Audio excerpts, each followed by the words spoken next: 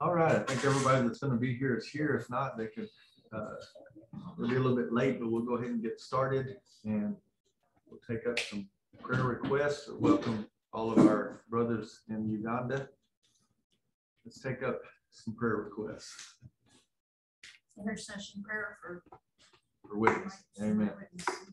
All right, Miss Tina is going to have the opportunity to share Jesus with her family. Uh, most are not believers, so we'll pray for the Holy Spirit to go before her and for her witness to be strong and powerful and have results. So that's an incredible thing. It's a it's a wonderful opportunity. Though. You have to look at it as an opportunity.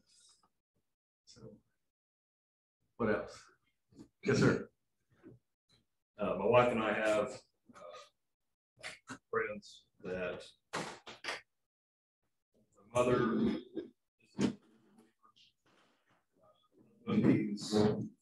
we're hoping he's kind of getting there, but he's not there yet. Uh, but she's also facing some uh, health issues uh, with pregnancy. Due to some probably stress related, she was supposed to go have an appointment uh, sometime coming this week to see if she's losing the baby or Mm, if it's going to be requiring some bed rest or whatever. So, okay. And this is your wife's? uh, well, I mean, we're mutually friends with them. You, and- okay, okay. So uh, mainly praying for this baby and for y'all to have opportunity to, Keep nurturing. Keep nurturing uh, them. husbands. okay. So No, we, they had actually agreed to go to church uh, this past Sunday, uh, but then she was uh, having some bleeding and everything. Hmm. and They kind of Okay. postponed and said, we'll, we'll try it again some other time. all right. What else? Pray for our, uh, our, our uh, prayer walk we're doing tomorrow for, at the All right. apartment complex. So we are uh, targeting some, targeting, my wife doesn't like that word, but I don't know another word. But we have an apartment complex right around the corner from our house and we've been praying. As a matter of fact, Will and I are going to be fasting uh, the rest of today and tomorrow. And we're going to go prayer walk that apartment complex uh, and pray for a person of peace to open uh, their apartment to us. And we'll start a group in there and begin to try to reach the apartment complex. We're going to try to do three apartment complexes like that. And so we're hoping to, uh, one of the things I want to do is uh, a young lady that I know is doing a ministry uh, where they're reaching into apartment complexes and she had a great idea for a baptistry. It's a blow up pool that you can carry around in a little box about like this.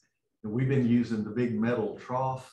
But that thing's hard to lug around and tug around, you know, when you're going to apartment complex or something. They just use a blow up pool uh, when they're going to baptize someone, they invite everybody in the apartment complex to come out and watch.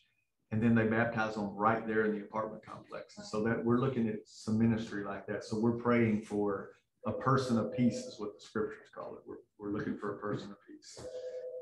What else? All right. Well, let's pray for these things and we'll get started.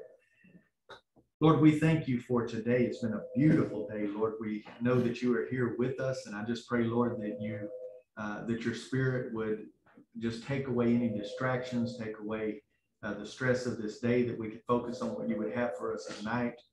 Lord, I do pray uh, for Miss Tina as you have given her an absolutely incredible opportunity, and I pray, Lord, that you take her anxiety away. I just pray that uh, her own testimony would just flow as natural as it could be from her lips, that you would go before her even now, that your spirit uh, would go before her and begin to prepare the hearts of her family members, that they would receive her witness.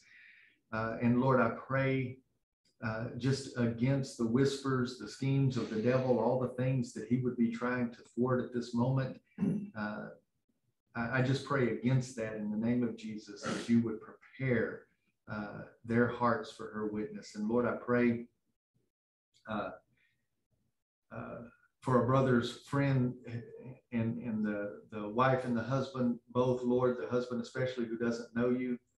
Lord, I just pray that you would remove all the barriers that would keep them from coming to church and knowing you. And Lord, I pray for this little one. I just pray that uh, you would uh, touch this young lady and help uh, this this baby to grow and, and be healthy and come into this world uh, just like all other babies. But Lord, just intervene in this situation and bring healing to her body and uh, just allow uh, Brother Jason to be able to witness and his, his wife as well. And uh, just pray for your intervention, Lord, that your spirit would begin to work on their hearts. And Lord, we do pray for a person of peace in this apartment complex. I just pray that you would open a door, uh, that we would be allowed to go in and start a community group and just see the power of your spirit work uh, in this apartment complex. And Lord, also to show us the other two that we would be reaching into.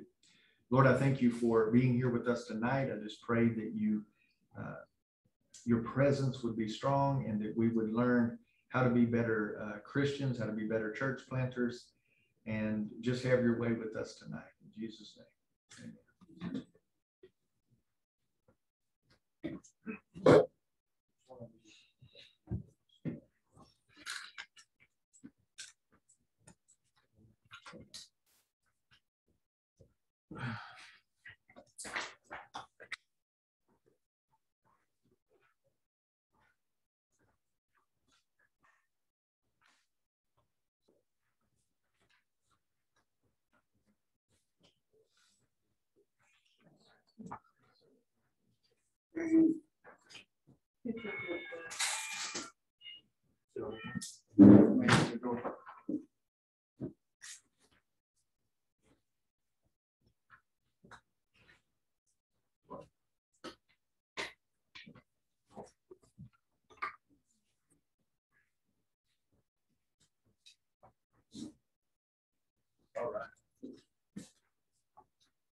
So there's several things we're going to talk about tonight. This one is uh, going to focus a little bit on those who are familiar with the more traditional structure of church, uh, the, the programs that are set up in traditional church, and how that differs from what we actually see discipleship in the scriptures. And so uh, I, I titled this Structured Program to Discipleship. And so we're going to talk about the way Jesus discipled. I think that it's very important uh, that we look at Jesus as our model for so many things. And um, the way he did discipleship was incredible. And so that's what we're going to look at first before we go into actually developing or establishing discipleship strategy in our churches. Uh, one thing I will say is uh, I've been in ministry over 20 years. The only church that I have been into, uh, Catherine and I have been a part of five churches, not counting the one we're in now. And the only one of those five churches that had a discipleship program in it, if you, for lack of a better word, program, uh, at our church, we call it the discipleship path. Um, the only one that had it is the church I pastor and it didn't have it when I got there. It, uh, it took me three years to establish it and to get it going. And so none of the churches that we have been in had any type of discipleship uh, classes or pathway in it. Um, I've also been in the association for now over 10 years, and I would say that 95 plus percent of our churches have no discipleship uh, path in them at all. And that, that would probably be a conservative number. It's probably higher than that. It's probably more like 99% of our churches do not have uh, an uh, evangelism. Will you give Brother Archer one of those? Uh, real, they do not have an intentional discipleship strategy. So let's look at, at the, the people that Jesus taught here. Jesus taught the multitudes. We see in this passage in, in Mark 6, when Jesus went ashore, he saw a large crowd. He felt compassion for them because they were like sheep without a shepherd, and he began to teach them many things. In Luke 5, it says he got into one of the boats, which was Simon's, asked him to put out a little way from the land, and he sat down and began teaching the people from the boat. And if you look at the context of those two passages, uh, it, in, in it, it, uses the word multitude of people in several of those uh, before and after passages. And when I think of a multitude, I don't think about 10 or 15 people or even 20 or 30 people. When you think of a multitude, you're probably thinking of several hundred people. And so Jesus definitely did teaching to the multitudes.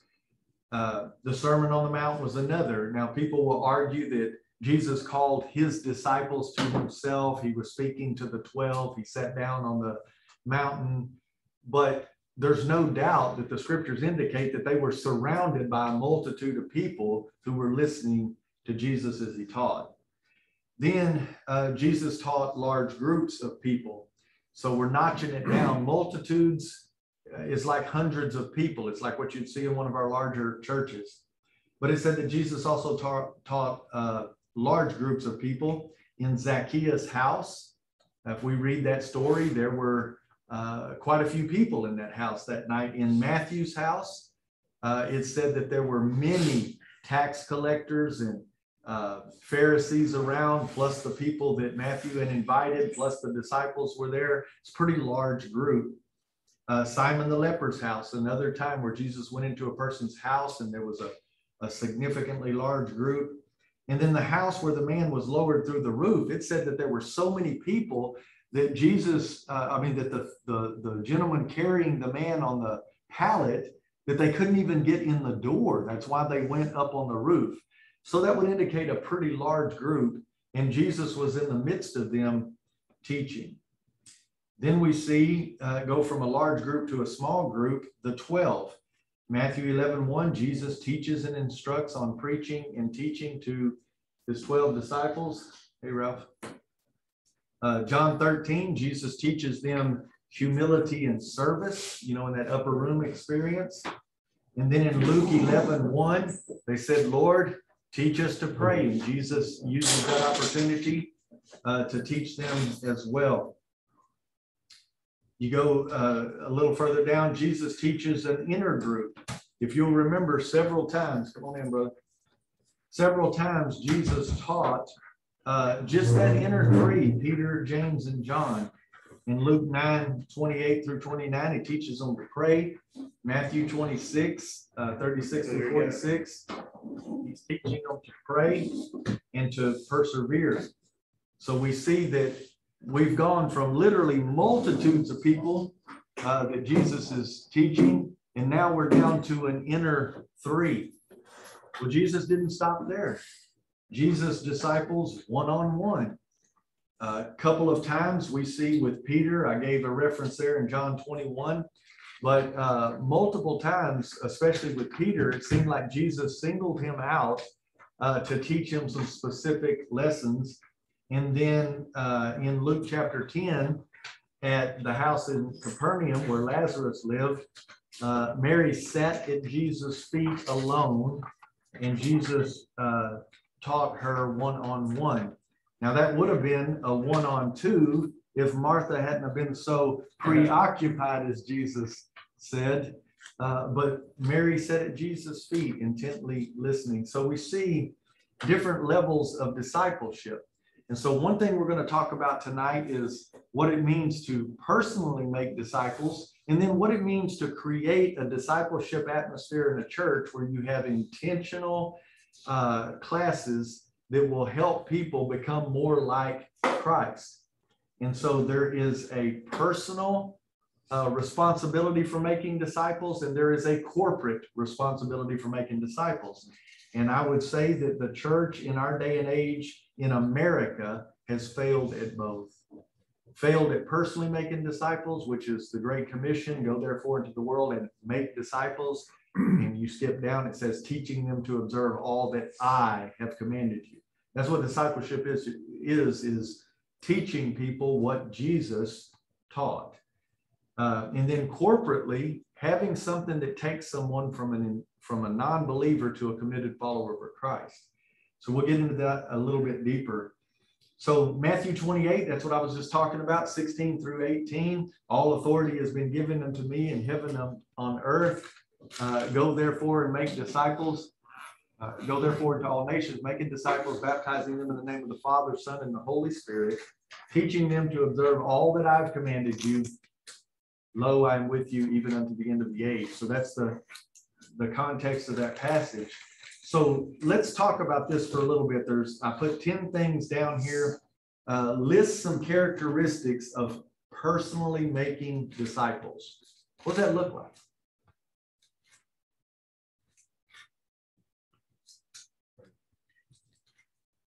It takes patience. Patience, all right, that's good. Yeah. That, that, that's a great, a great one, put it down. Accountability.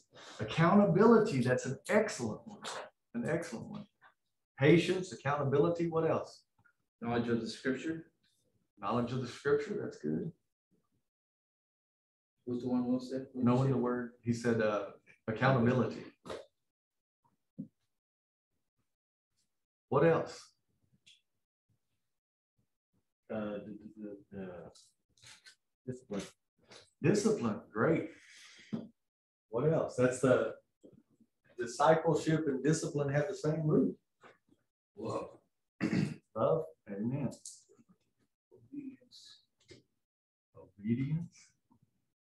Yeah, what did Jesus say? Teaching them to obey.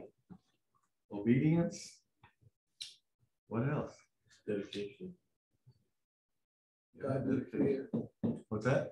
godly fear. Yeah, if I don't do this, what's gonna happen? No, I'm just. playing. What else? Perseverance. Perseverance, that's, that's a good one. And there's no right or wrong. I'm just trying to make you guys think about what it means to, to disciple. What does discipleship I look thought you like? had ten already wrote down, like, man, we're hitting every single one. That's pretty good. Uh, We could probably list thirty or forty things here. Divine uh, direction. Divine direction, the, the Holy Spirit ought to be involved. God's word ought to be involved, which, uh, Ronnie said that. Uh, I would say that accountability is a definite one. That's part of what discipleship is about, being accountable to someone for your walk. How about walking the walk, right? You got, you got to live it. Uh, Our mission statement uh, in as simple form as you can get it is living and sharing the transformed life. You can't share what you're not living, right? So living it, what else? Spiritual vision.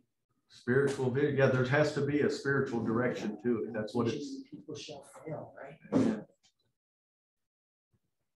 Which would be the, the Holy Spirit involvement in it, so.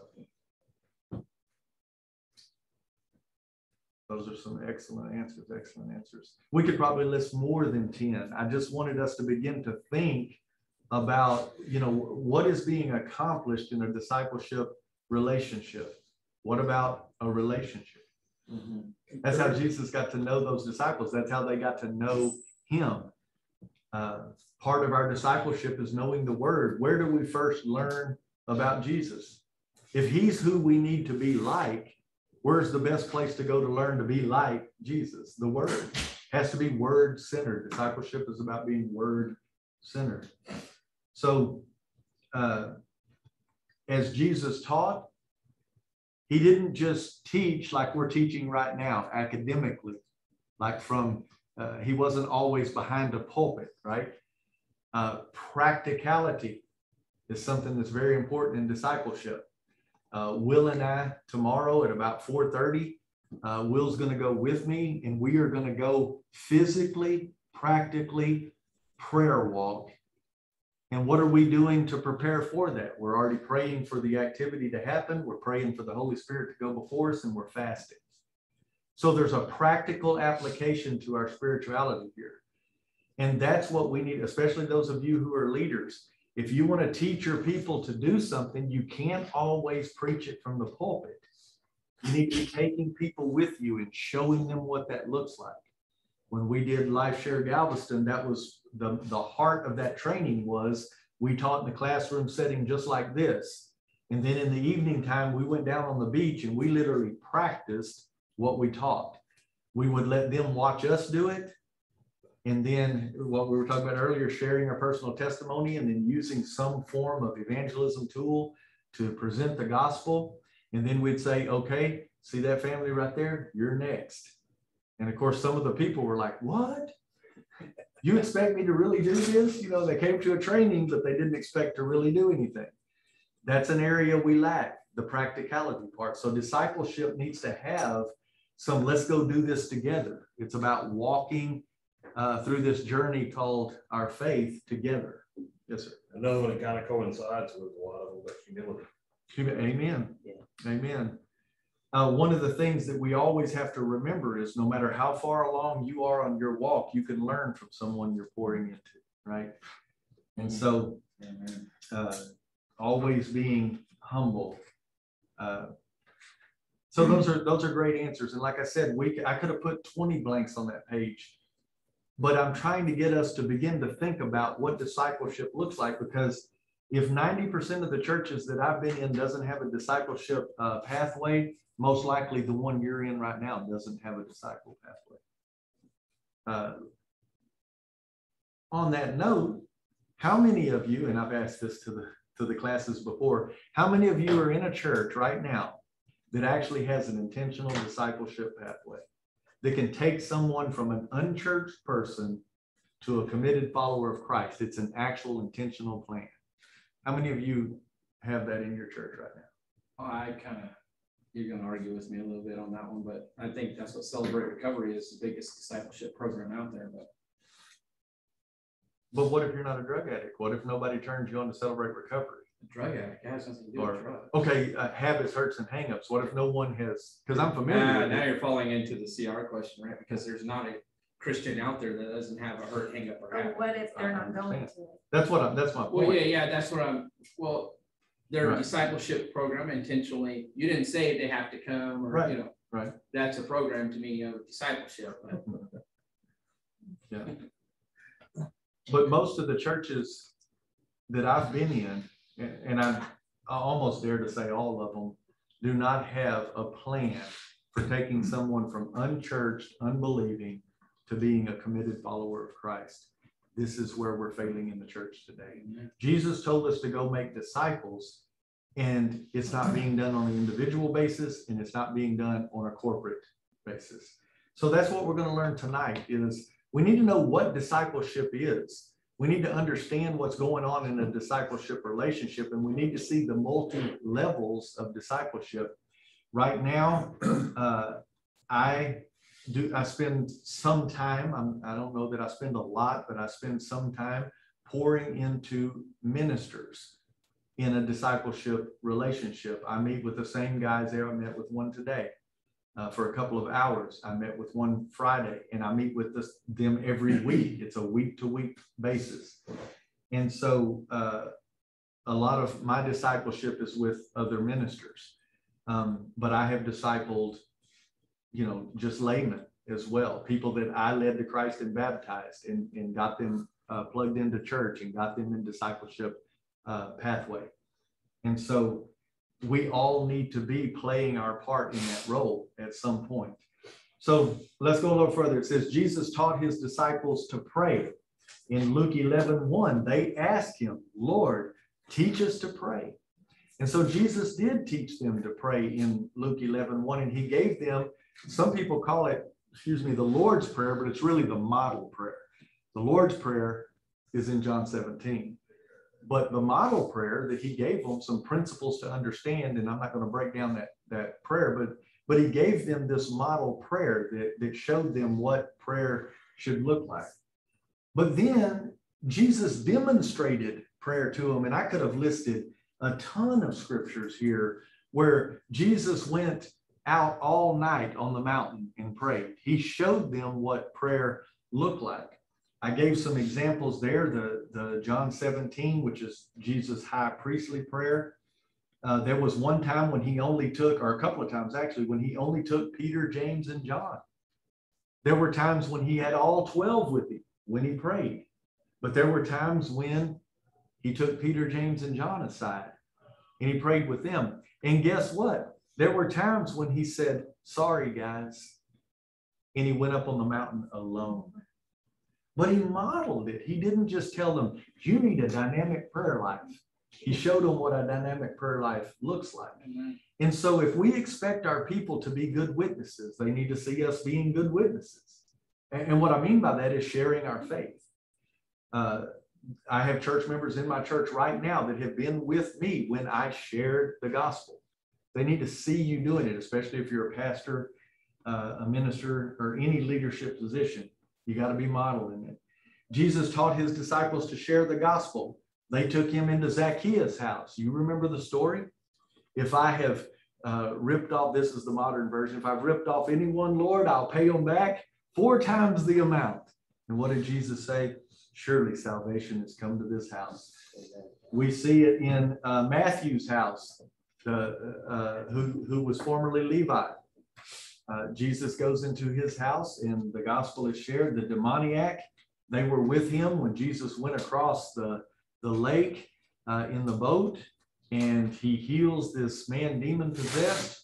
And then the scriptures say he basically gets back in the boat and leaves and tells that guy to go tell everybody in Damascus what he's done for. pig, right? Yeah, the one with the pig. Right. And so Jesus shows them what witnessing looks like. The woman at the well. The woman at the well. You know, they come back and they're like, Jesus is talking to a Samaritan woman. You know, they're kind of being judgmental, and, and yet a whole city gets led to Christ because of her uh, uh, encounter with Jesus. So he demonstrated it. He sent his disciples out. He not only showed them what to do, uh, I just preached a message on Luke 10 uh, this past Sunday, but he took 70 of them, not just not the apostles, but 70 average lay people. And he sent them out by twos. And what did it say they did? They, they looked for a person of peace. Said they stayed in that house and then they began to share with everybody around them. Uh, one of my points to my message this past Sunday was Jesus started church planting before the day of Pentecost ever happened. That's why on the day of Pentecost, they knew what to do. Jesus already sent them out, said, stay in this house. It's a headquarters for ministry. They started sharing the gospel. Jesus showed them the house church movement before the day of Pentecost ever happened, right? Right. So he demonstrates it and then he sends them out to practice it. And then they come back and give a report. What was their report? Man, demons even were subject to us in your name. You know, great things happened when he sent them out. Uh, Jesus taught his discipleship service by teaching and preaching and healing in their presence. Uh, he washed the disciples' feet. So we see Jesus teaching them, but then he demonstrated it. They came up and said, Lord, you got to send all these people home. They got nothing to eat. They've been out here all day. And Jesus said, You give them something to eat, right? But he has them sit down in groups on the ground. And he, he says, What do we have? A few fish and bread. And he multiplies it and he feeds them, but he demonstrates uh, service to them. And then one of my favorite stories of all is Jesus is on the shore and the disciples are out in the boat. And uh, John looks and says, It's the Lord. And Peter dives off the boat, nothing but his loincloth, dives off the boat, gets there, and what's Jesus doing? He's cooking breakfast. Jesus cooked them breakfast. Yeah. He demonstrated service. And they, I don't know if they had thick bacon, brother, but they did have thick fish. So, Barbecue for sure. yeah. You know, in all of these things, I see the difference between learned knowledge and experiential wisdom is application. Application, right. And that, that's what I'm saying. And most of our people, and you who are going to be preaching, pay attention to this. You can't just tell your people, well, you need a prayer life. You need to have prayer and devotion. My answer always to that was, well, I came to know Jesus from a non-believing background. I was a grown man. I didn't know what prayer and devotion was. I didn't know what quiet time was. I still don't know what quiet time No, I don't know. I talked to the Lord out loud. I found out that you don't always have to be quiet to communicate with the Lord. Uh, you can have out loud time with the Lord. I pray just like I'm talking to you right now. That's how I talk to the Lord. Sometimes people hear me and think I'm crazy, but that's okay. It's all right. In devotion, I said before Jesus came into my life, I've been, I was never devoted to anything, nothing. So when a preacher is preaching, you need to have a quiet time in devotion. That meant nothing to me. What does that mean? So we have to demonstrate it. We have to show people. We have to get them to, we can't just assume that they understand what that means. So Jesus did the practical application, as Brother Archer was talking about. So I know that was like a fire hydrant there, but I wanted us to see that Jesus, as the great master teacher, didn't just tell the disciples to go out and make disciples. He spent three years showing them what discipleship looked like. And there were times when he discipled many. There were times when he discipled a large crowd. There was times when he discipled only the three. And a few occasions, he was one-on-one with someone. Peter really needed to hear, do you love me? Lord, you know I love you. Peter, do you love me? Whew, why did he need to hear that, right? Because he was going to deny Jesus. And so Jesus gave him that wonderful lesson one on one. So we see discipleship in those levels. So I want to go to the page that says uh, steps to take. Jesus' pattern of discipleship making can be boiled down to three basic steps selection, instruction, and then apprenticeship. How did Jesus select the disciples? Does anybody know? Do you remember? By the glory of the Holy Spirit revealing who and what and where. But how did it happen? Basically, just walk around and call them to come follow me. What happened just before that? It's very important. It said that Jesus Went up on the mountain all night long and prayed. All night long, he went into prayer. And it said when he came down off that mountain, he chose his disciples. And so there's a lesson right there. You're going to pick some leaders in your church. Hmm. You might ought to go pray and fast. Pray up. That's right. He all night long, he basically did an all night prayer vigil. And yet, so many times we go, Oh, she's a school teacher in the public school. Oh, get her over there in that Sunday school class. She's got to have the gift of teaching. That don't mean she's got the gift of teaching. But we go put her in there. Instead, we need to pray. Jesus modeled what it should look like, right? So selection is hard to do. Selection is the first thing. It's hard to do. You know why? Because our culture teaches us to be democratic and treat everyone equally. Well, do you know what? We are not all equal. And it's time somebody begins to say, we're not all equal. Now we're equally loved. We're equally sinners before a living God, but you don't have my gifts. I don't have your gifts. And so everybody's not at the same place spiritually. We can't treat everyone the same. Some people can handle very direct to the point, other people need to be nurtured. And we need to select. And how do we do that? Be a good thing to pray, wouldn't it? Amen. Pray And up. so when we talk about discipleship, uh, I, I talked to our group about it and I said, especially if you're the older person, it would be better for you to have someone come to you than you go to them because then they've chose you to pour into their life. And I'll, yeah, I'll talk about that a little bit more later. And later on in our classes, we will have a section on uh, coaching and mentoring as well, which is all part of discipleship.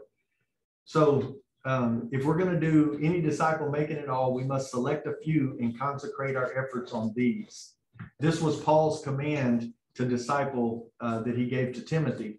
He said in Timothy, 2 Timothy 2 2, the, the things you have heard me say, in other words, I've been pouring into you. Paul had been discipling Timothy. He said, The things you have heard me say, entrust to reliable men who will also be qualified to teach others. So, how many levels of discipleship are there? How many levels are there? Three. Four. Paul pouring into Timothy, Timothy pouring into men who would be qualified to teach other men. So you see, so Paul didn't take all of them on himself. Paul took on a few. Like I told you, I, I have uh, some discipleship time with other ministers. Uh, I don't disciple everyone they are pouring into. I focus on them and they pour into others. And so you select a few. Paul advised Timothy not to try to reach everyone himself, but to select those who could multiply his teaching ministry. And so, uh, for one thing, is if you try to do it all, yourself, you're limited anyway. Uh, you pour into four or five men and then let them pour into four or five men, or if it's in the case of Tina, she'll pour into uh, several young ladies who will be able to pour into several other young ladies. The, uh, model for the men of honor. The lost to be saved, the saved to be discipled, the, the discipled to be matured, and the mature to be multiplied. Amen. Amen. That's great. And, and you don't always have to be mature to multiply. It doesn't have to be in that order, but that's definitely a Yeah, great a lot of young kids have babies. Right, but that is, but see, that is a, an intentional model. Now, I don't know how they teach that, but the, the structure of what you're talking about is a great, uh, model. Yeah, so, um, when we talk about prayer and this, uh, go into your closet model. Mhm. Um, Martin Buber, you're familiar with Martin Buber, a great theologian who said, there's a place of stillness. A place of stillness surrounded by silence in the depths of the heart of every person. That place is where God works. The intersection, yep. Yeah. And so selection is, is the key, uh, to be able to pour into other people, pour into other men. Uh, if you're a leader in your church and you have, uh, young ministers that are in your church, that's a good place to start with, with you, so. Um, and then instruction or teaching is carried on both verbally and non-verbally. Once we have selected, uh, one or a few uh, individuals to disciple, we must personally discuss biblical truths with them and then personally demonstrate how these truths work uh, in and out of our life and ministry. So discussion without demonstration is too theoretical. Demonstration without discussion loses much of its precision and is easily misinterpreted. So both discussion and demonstration require planning. If we plan both regular meetings and real life experiences, we will have plenty of opportunity for both discussion and demonstration. So this is what I was talking about. I taught this past Sunday on uh, seeking persons of peace and entering into their home and, and using that as a place of ministry. And yet uh, Will and I are praying and fasting, praying for the Holy Spirit to go before us. Tomorrow we'll start prayer walking the apartment complex and we're looking for a person of peace. So you teach it from the pulpit or your Sunday school class or your small group, but at some point you got to show them what it looks like. That's the other area we lack so much in church is the practical application. What does that look like, preacher? That was a great sermon, but what does it look like, preacher? That's what we've got to do better as pastors and preachers and teachers. Is it's one thing to tell somebody how to do something, but whenever you say, "Come on, and I'll show you what that looks like," man, that makes it a whole lot easier. A whole lot easier. So how do you get by the fact that problem that you're talking about is because people already think that it's the pastor's job. the job. Every You know, pastor's every- job. every- Everybody Everybody, knows it. you know, because I, when I got in, that's what I thought too. I said, well, that's a job. I don't have to do Yep. Yeah, that So How do you get by that? Because if you're gonna show them that you're gonna do it. Then how are you gonna bypass that thinking that says, okay, he's doing it, I don't have to go out there? You have to teach them that. Well, just like Will, Will is praying and fasting with me. He's going he's tomorrow. thinking. And yeah, he is. And that's the reason why I'm seeking him to be a part of this new church plan because he don't have that traditional baggage. And that is a hard thing to overcome. It's a very hard thing to overcome. Uh, the, the conversation we had uh, previously about who's the evangelist in the church? The one teaching all of y'all how to go out and share your faith. But if you ask the average church member, they're going to say, well, that's that guy over there. He don't ever shut up about Jesus. Well, it ought to be you too, because you've got a testimony and Jesus commanded you to go do it. And so uh, in my sermon Sunday, I, I point blank told them, there is, uh, Jesus said the, the, uh, the harvest is plentiful, but the laborers are few. Right. One of my points was, is that every single Christian is a laborer and every laborer is sent out, every one. And the funny thing about Jesus, he tells them, pray for the Lord of the harvest to send out laborers. So they pray, and then Jesus says, Your prayer is answered. Go. Go. Yeah, so so Jesus is a funny guy, right? Sure. But that's the truth of the matter is that uh, I think it's easier to convince people of the truth than it is to get them to do it. Yeah. But if we're modeling it and we're, fa- all I can be is accountable for me. And we're going to model it and we're going to hope that some of our other uh, folks come on board. Our other community groups are gonna be praying for their neighbors. We're already talking about making cookies and going and knocking on their doors. But the leader of that group is gonna show them how it's done. So uh, that's the reason I believe that some people aren't really attracted to our model. Because we're gonna try to, to, to put it into practice. And like I said, when we did Life Share and we partnered with churches on that end, every time we said we were gonna do something they didn't want to do. One lady literally said, my dog hasn't had her rabies shot in ten years. I've got to get her to the vet. I was like, what's another hour? Right. Right? It was just an excuse to not participate because we were gonna go on the beach and witness, right? So you're always gonna have those people because the church has, has allowed that mentality for a long time. Right, but I mean, you got Christ, he says he gave gifts to the church. He gave apostles, evangelists, teachers, pastors. Mhm. So where they at? I, I believe that they're there. I just believe that, you know, uh, No, but he gave those gifts for the equipping of the saints, saints Right. Yeah, but they gotta do do the work of the Lord. right, to do the work of the, you're exactly So right. That's the key. Equipping these people. Well, it- hopefully it's gonna be you and Tina Well, and see, me That's what and I'm Will. saying, I Right, already, we, we know that's our job already. Right. So how are we gonna convince them that they need to be You an model it. apostle, that they need to be an evangelist, they need to be a pastor too? Well, they- do you know what else Paul told Timothy though? Whether Timothy was gifted in teaching evangelism, Paul told him, do the work of an evangelist. You're gonna, if you're gonna plant, you're gonna have to think, I've got to show them how to witness and lead people to Christ. Uh, I have put in this class right now, tools in everybody's hands who's come here, but I can't make you go out and use them. You know, just like tonight, uh, the back of those New Testaments have the plan of salvation, and nothing is more powerful than your testimony. Because they can't refute it. You know what happened to you. And if you're really living it, they can't refute it because they know who you used to be. And so between that and leading them through the word of God, and you've already prayed up, and, and we'll be praying for you too. We'll be praying for the Holy Spirit to go before you. We have to believe that there's power in the word of God and the spirit of God. It's supernatural. That's something we've got to get back to uh, being able to grasp is the fact that we can't always figure it out.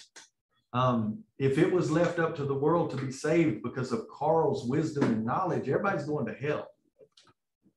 But because I've got the power of the Holy Spirit and the power of God's word, and I'm willing to be obedient, God can do some great things through that. And so that's what we've got to be willing to convince people is that he can use you. Will you let him use you? That's the harder thing to convince. But it's a lot easier if you tell somebody to do something and then say, come on, I'll show you how. And you go with them. And then they get out there and knock on the door and they're received well and they go, wow, that wasn't as bad as I thought it was. Because we had that happen many times. Most gifts are discovered by application. People don't realize they're gifted until after they go do something and then go, wow, Yeah, I didn't even know I could do that. yes. So apprenticeship is the next one. Instruction is good. I gave y'all uh, my disciple, my uh, evangelism model, how to share your personal testimony in three minutes. Some of you actually practiced it. Uh, Ronnie told me today that this week he's had opportunity two or three times, two times to share his personal testimony. He said that one of them was a Christian, but he shared anyway so he could practice. What a great way to practice. You find out somebody's already a Christian, so you might not walk them through the Roman road or whatever you want to use, but you could say, hey, tell me your story, I'll tell you mine. And you get some practice there. The other one wasn't a Christian. And it probably didn't go the way you wish it would, but you've got to share with this lady. And the bottom line is this, you're not in control of the results. Only the obedience to share. That, that takes a lot of the pressure off when you know it's the Holy Spirit Amen. that does the final, yeah. So the last part is apprenticeship. You need to se- selection, instruction, and then apprenticeship is personally supervised practice. Personally supervised practice. Amen. No single schedule of assignments can be devised for all people. Instead, learning opportunities must be personally devised so that they include plenty of success experiences and so that they require progressively more maturity and skill. Apprenticeship should be thought of not so much as a testing device, but as a teaching device. Such an apprenticeship should lead the individual to have confidence uh, that the Lord can work through him to minister to others. So I had a young man who was apprenticing under me in, in the previous church I was in. He wanted to be a pastor. And I've, I've shared with you some stories about him in the past, but he needed preaching experience. And I started letting him preach on Sunday evenings. And in the beginning, it was rough. It was really rough. And I had a couple of people come to me and say, Pastor, I can't listen to him. And I said, Yes, you will. Yeah. Because he needs encouragement right now. He needs to be built up right now. So you're going to listen to him. And I'm going to be working with him on the side with positive criticism, helping him to be better. Before he left our church, matter of fact, the reason he was called out of our church is because he went to do pulpit supply in a church that was in an interim. They didn't have a mm-hmm. pastor. And he went out to preach and he came back and he goes, You're never going to guess what they, they asked me. And I said, They asked you to come back and preach again. He said, Yeah. So he went and preached again. And then he came back and he said, You're not going to believe what they asked me. I said, They asked you to be interim. He said, How did you know? I said, Because you're a good preacher. All they heard was him preach. They don't know nothing about him. And I said, And don't be surprised if within the next six months they don't ask you to be the pastor. It was less than 90 days. Wow. Less than 90 days. He comes up to me. They asked me to be their pastor. What am I going to do? I said, You're going to pray. And you're going to get an answer from God, and then you're going to tell him. He's like, Well, what do I do? I said, I'm not God. You're gonna have, you're gonna talk to the to, to the to the Lord about it. And I'm gonna encourage you either way. And he went to be the pastor. So, but the thing was, is that he needed to to break his teeth in. A lot of pastors, when I first became a pastor at the church I was at, I had very little preaching experience. The first church I was in, I was uh, a youth pastor with a desire to pastor, and I was in that church almost four years, and I preached twice. Hmm. And that's sad. You know why? Because they had the attitude that's who that's what we hired the pastor for. And in, in my previous pastorate, that's what they told me. We didn't hire him to be the, the preacher, we hired you. And I said, No, you didn't. You hired me to be the pastor. They had good bacon. And, but they had good bacon, that's right. And they got a pastor now, by the way.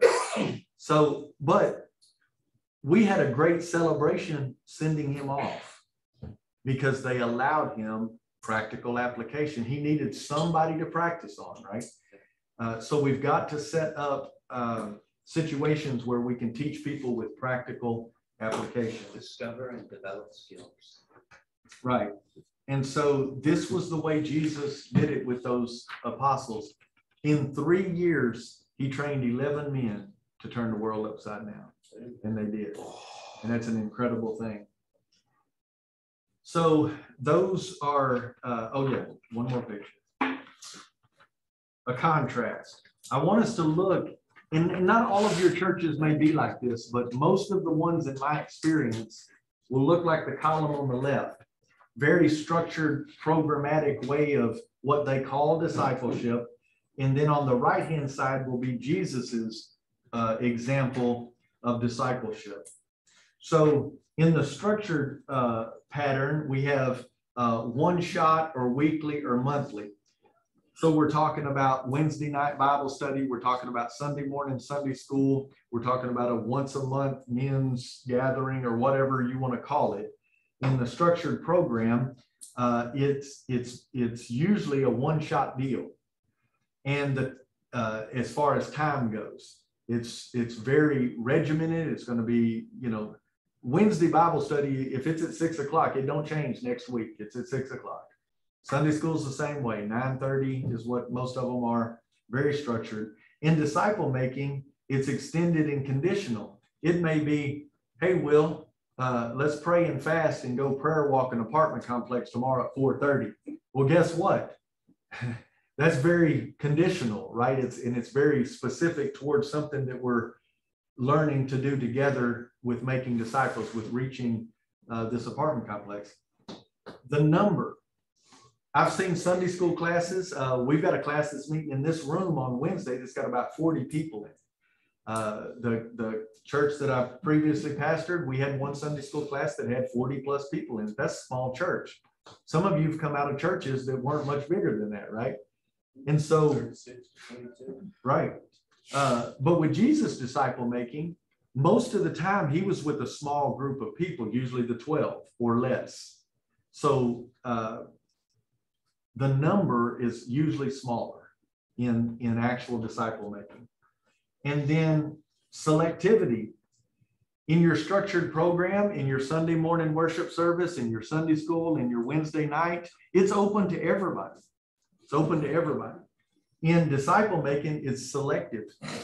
In disciple making, it's not open to everybody because Jesus chose 12, right?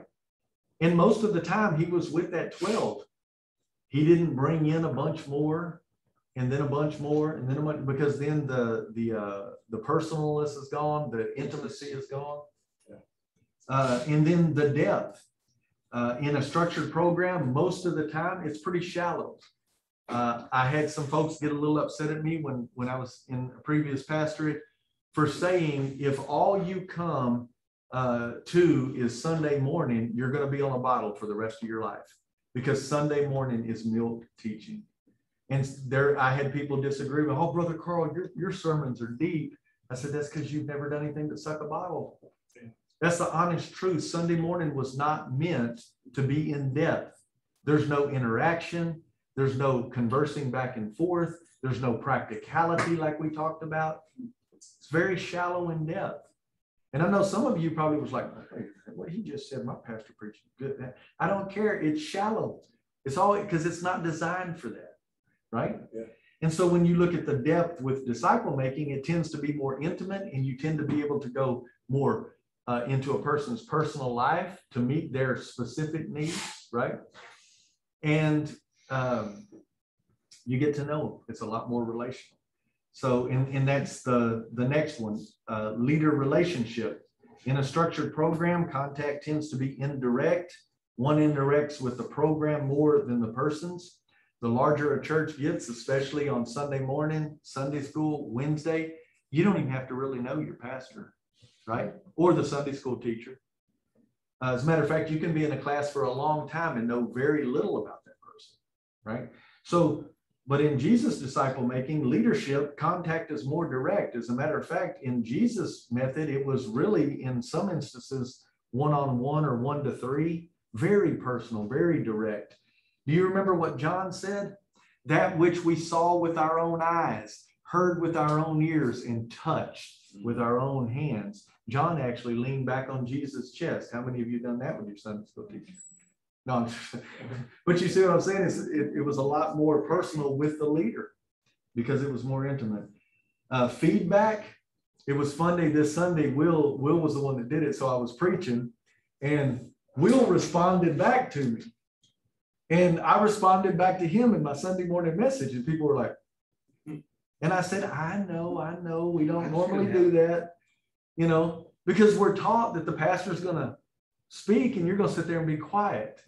Where is that in scripture? That's what I said this Sunday morning. Where is that in scripture? Where's that in the book? It's interesting because you're comfortable with me, you know, in- Mhm. interacting with you as we do this, but I've been in a lot of places where people get real upset because uh, I've spoken while they're trying to teach. Yeah, and it's okay. Now, I, I will admit, I had I had a guy one time in in a Sunday evening service. He asked me something totally off the wall that wasn't on the subject, and this is what I said. I said, Brother Tommy, I'm gonna give you the short answer because that's not what we're talking about tonight. After classes, I mean, after church is over, I'll talk with you in depth about it. I gave him the short answer, and we went back on because you can. I was told one time by doing interaction like that is dangerous. You don't know what you're going to get. But I'm not scared. Yeah, No. I'm not scared. We'll handle it like adults. Yeah.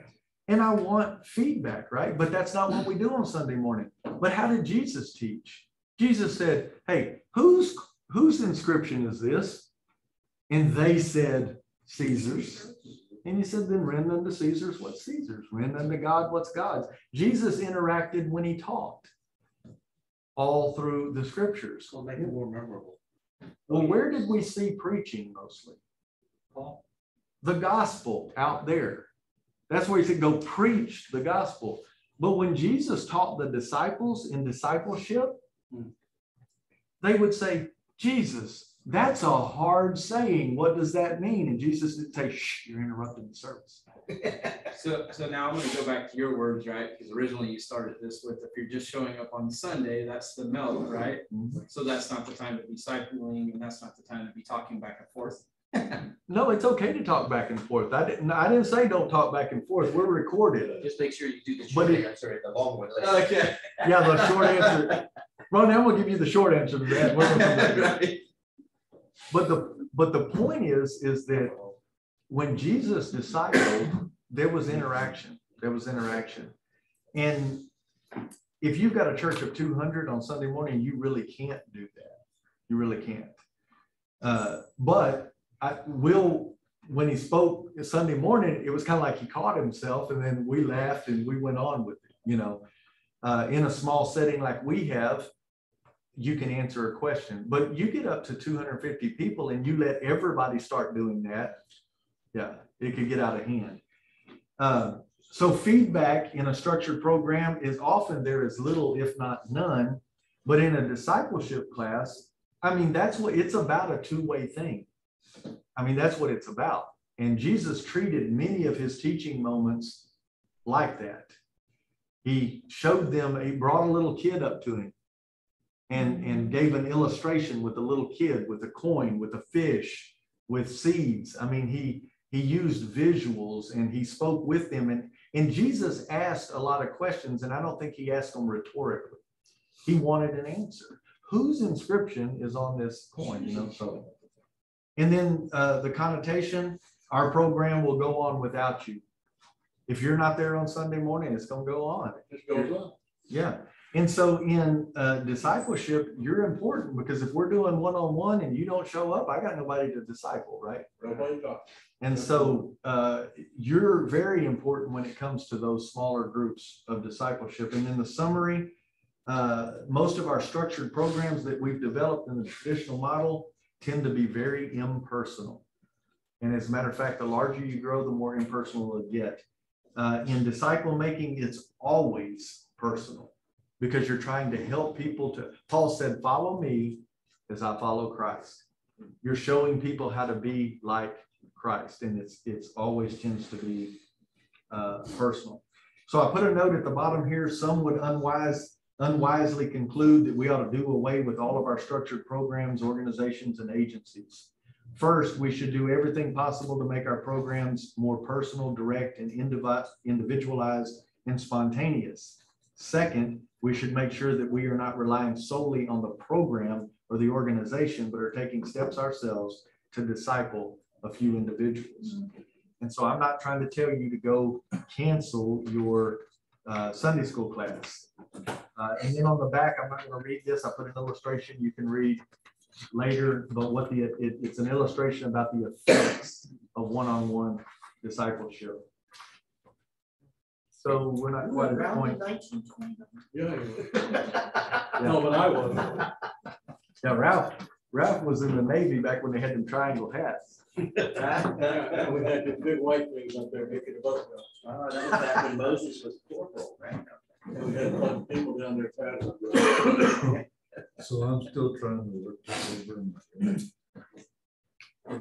God gives these gifts to the church. Um, tell me my responsibility. Oh, okay, yeah. Duty to teach these. You're basically telling me that if I read the scripture, these gifts require some symbol. right? You to give it to you, you have to put it together. What So- If you'll remember when I was talking about the evangelism, one of the things that I said under evangelism is, is that as you begin to uh, put together an evangelism strategy, if you aren't that person, like I've got the gift of evangelism, I've wrote material, I teach it, I go to churches, I've taught it in other countries. So evangelism is my thing. So I don't need to raise someone up. But Paul told Timothy, do the work of an evangelist.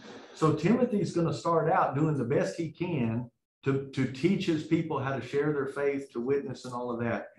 But as quickly as he can, he's gonna find somebody who's gifted in it to Yeah. turn that responsibility over to them. Uh, my wife and I have talked, uh, about this with me. I believe that in the early church, they were run by overseers and elders. The word pastor is only used one time in the New Testament, and it's in the book of Ephesians, and it's the passage that you're talking about. And some he gave as apostles, prophets, evangelists, pastors, and teachers. And that's the only place it uses the word pastor, and that's the one we fixate on.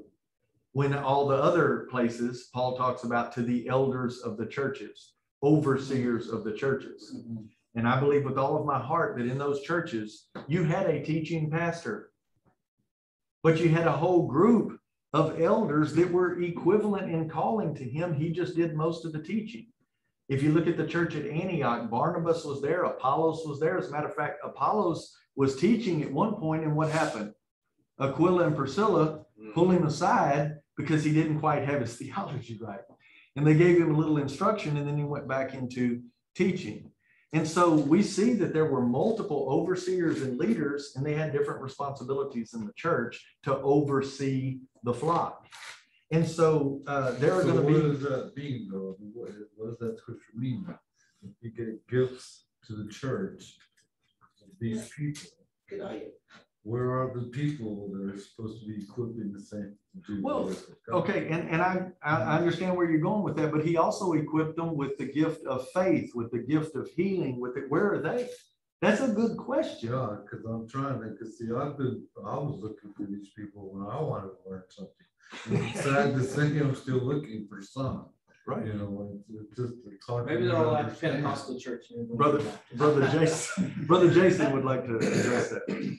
It- that And I was- think I've got at least a a partial answer for that, and it, and it was one that, uh, it, it- it hit home this past Sunday, because it was, it was, it was being preached on. And it's the parable of the talents. Yeah. The master gave the five talents to the one, he took them, multiplied them, brought them back. Gave the two talents to the other, he multiplied He them, brought them back. Mhm. He Gave one talent to one, and he went and hid it. Mhm. Didn't do anything with it. Right. We have been given gifts, and we've been given talents, and unfortunately, that's another area where we've fallen short on. Mhm. Is that whatever gift or talent that we were given, we have to use it in service for the Lord. Right.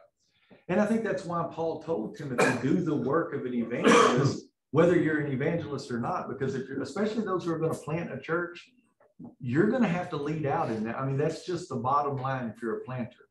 You've got to lead out in that evangelistic area, prophetic area. Uh, my understanding of a prophet today, and it's the little p prophet, I'm not, uh, uh, the, when you look at a prophet in the scriptures, his main job was calling God's people back to God. When we think about prophets today, especially in certain charismatic realms, they view the prophet as, as, as someone who tells the future or sees a word over your head or gives you a word for your life. That's not what you see in the scriptures. What you see in the scriptures of the prophet, look at what Isaiah did. Look at what Joel did. Look at thus saith the Lord. You know, Jeremiah, he went to God's people and said, if you don't repent and turn back to God, this is what's going to happen. That's the prophetic gift. And we do see some of those operating. People who are calling God's people back to God. You know, uh, apostolic gift, and I'll say with a little a, because we could get off on a, a, a theological issue here. Some people believe that the apostles don't exist today. That was an apostolic age to show that Jesus was who he said he was. And I don't want to go into all of that, but a little a apostolic gift. What did the apostles do? They came along and they were visionaries in a new age. They were the ones that were out there on the front lines doing what no one else was doing. And we see people with apostolic gifts today, these, these visionaries, these people like Paul, who were going around starting new works and who were doing things that others hadn't even thought about yet. And so we do have those people out there today. Well, I'm pretty sure we do. I guess I'm looking, for a definition of what actually mean, because I'm, a- I, I want to find those people. Amen. I- You know, I want to Amen. see them and I want to help them And you may even be one of them. tips Yeah. that, you know, they have, but I don't want to be the sole person out there having to Amen. put all this together because I can't. Amen. I Well, I think will, That might be the There's- thing. let Brother Archer uh, say what he's gonna say, and we, we, we can work on more from the side from that perspective of what those look like and who those people are. But go ahead. brother.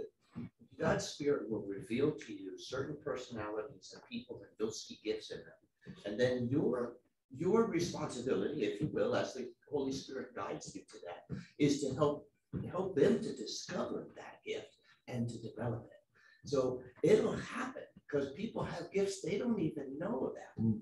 You know, I mean, Well, anything I when it comes to it now- leadership, right? You know, what, what, and I use this as my thirty years in the military is finding young men and having them discover stuff that they're able to do they never realized they could and develop that so that they become, by the time they leave under my leadership, they're a whole new guy.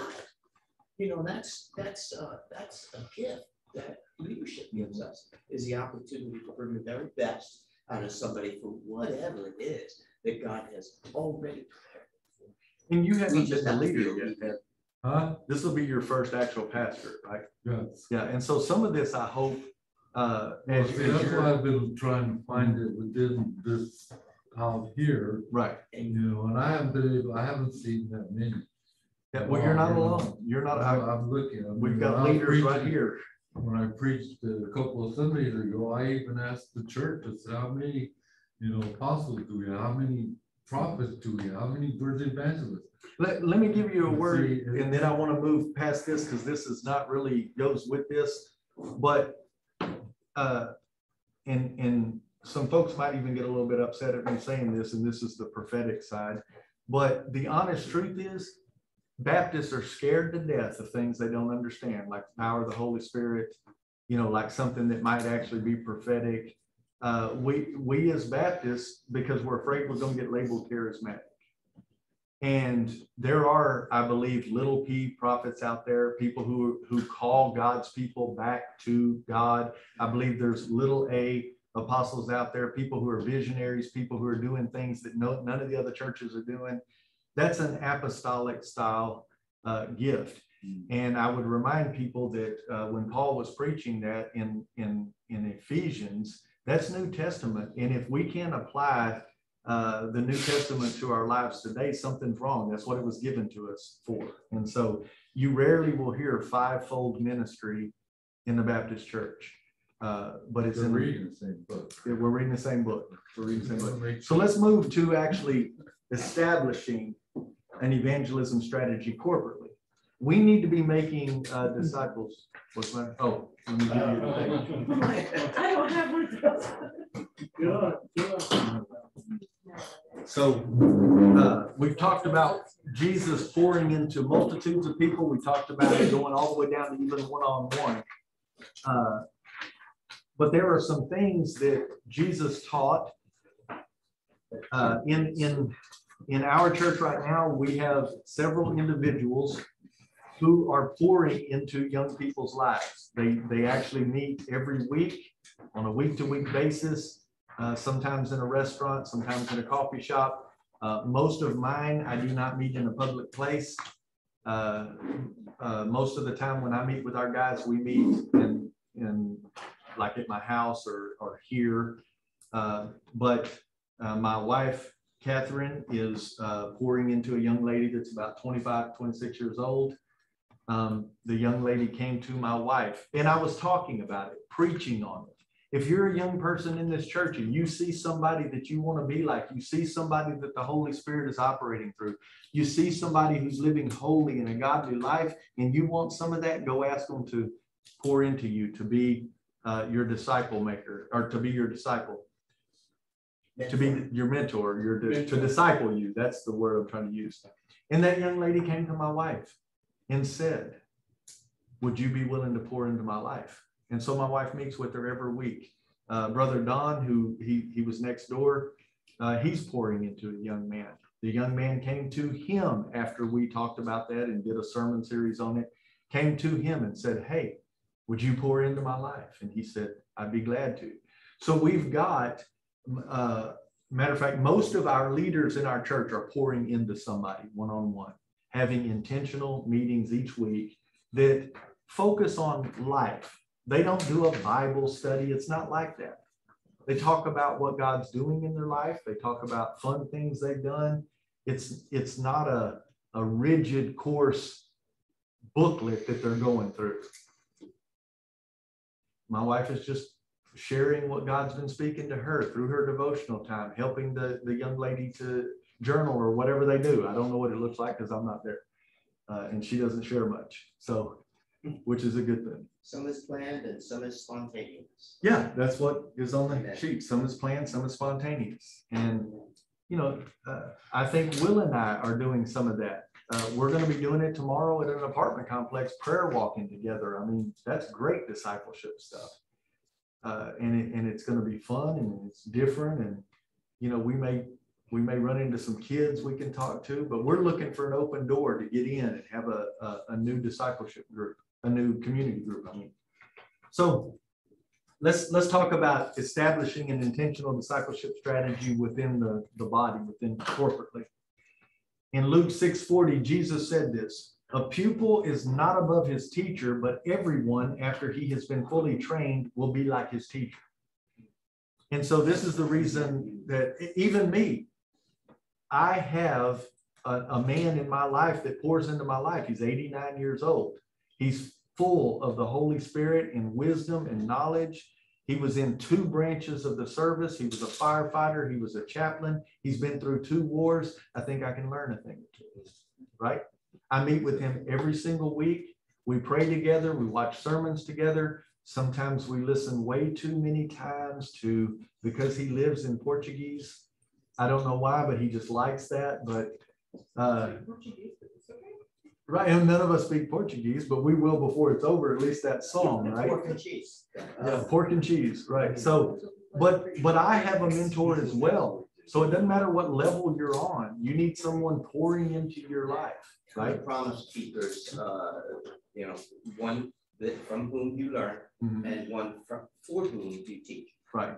So I've got a series uh, that talks about that. It's about having a Paul, a Barnabas, and a Timothy.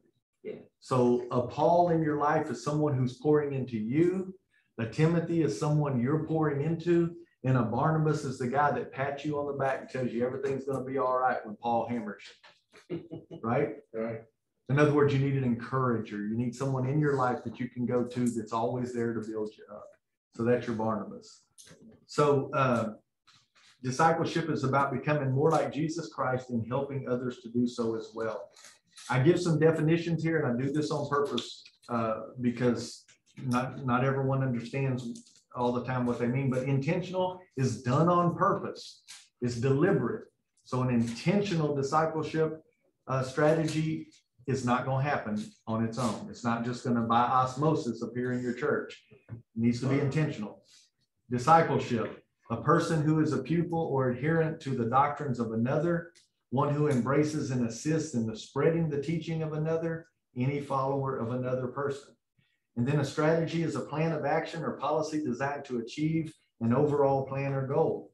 So when you take intentional discipleship strategy, is a deliberate plan of action to take people from unchurched and lost to becoming a committed and mature follower of Jesus Christ. That is what an intentional discipleship strategy is for. Right. It's to take an unchurched and lost person to becoming a committed and mature follower of Christ.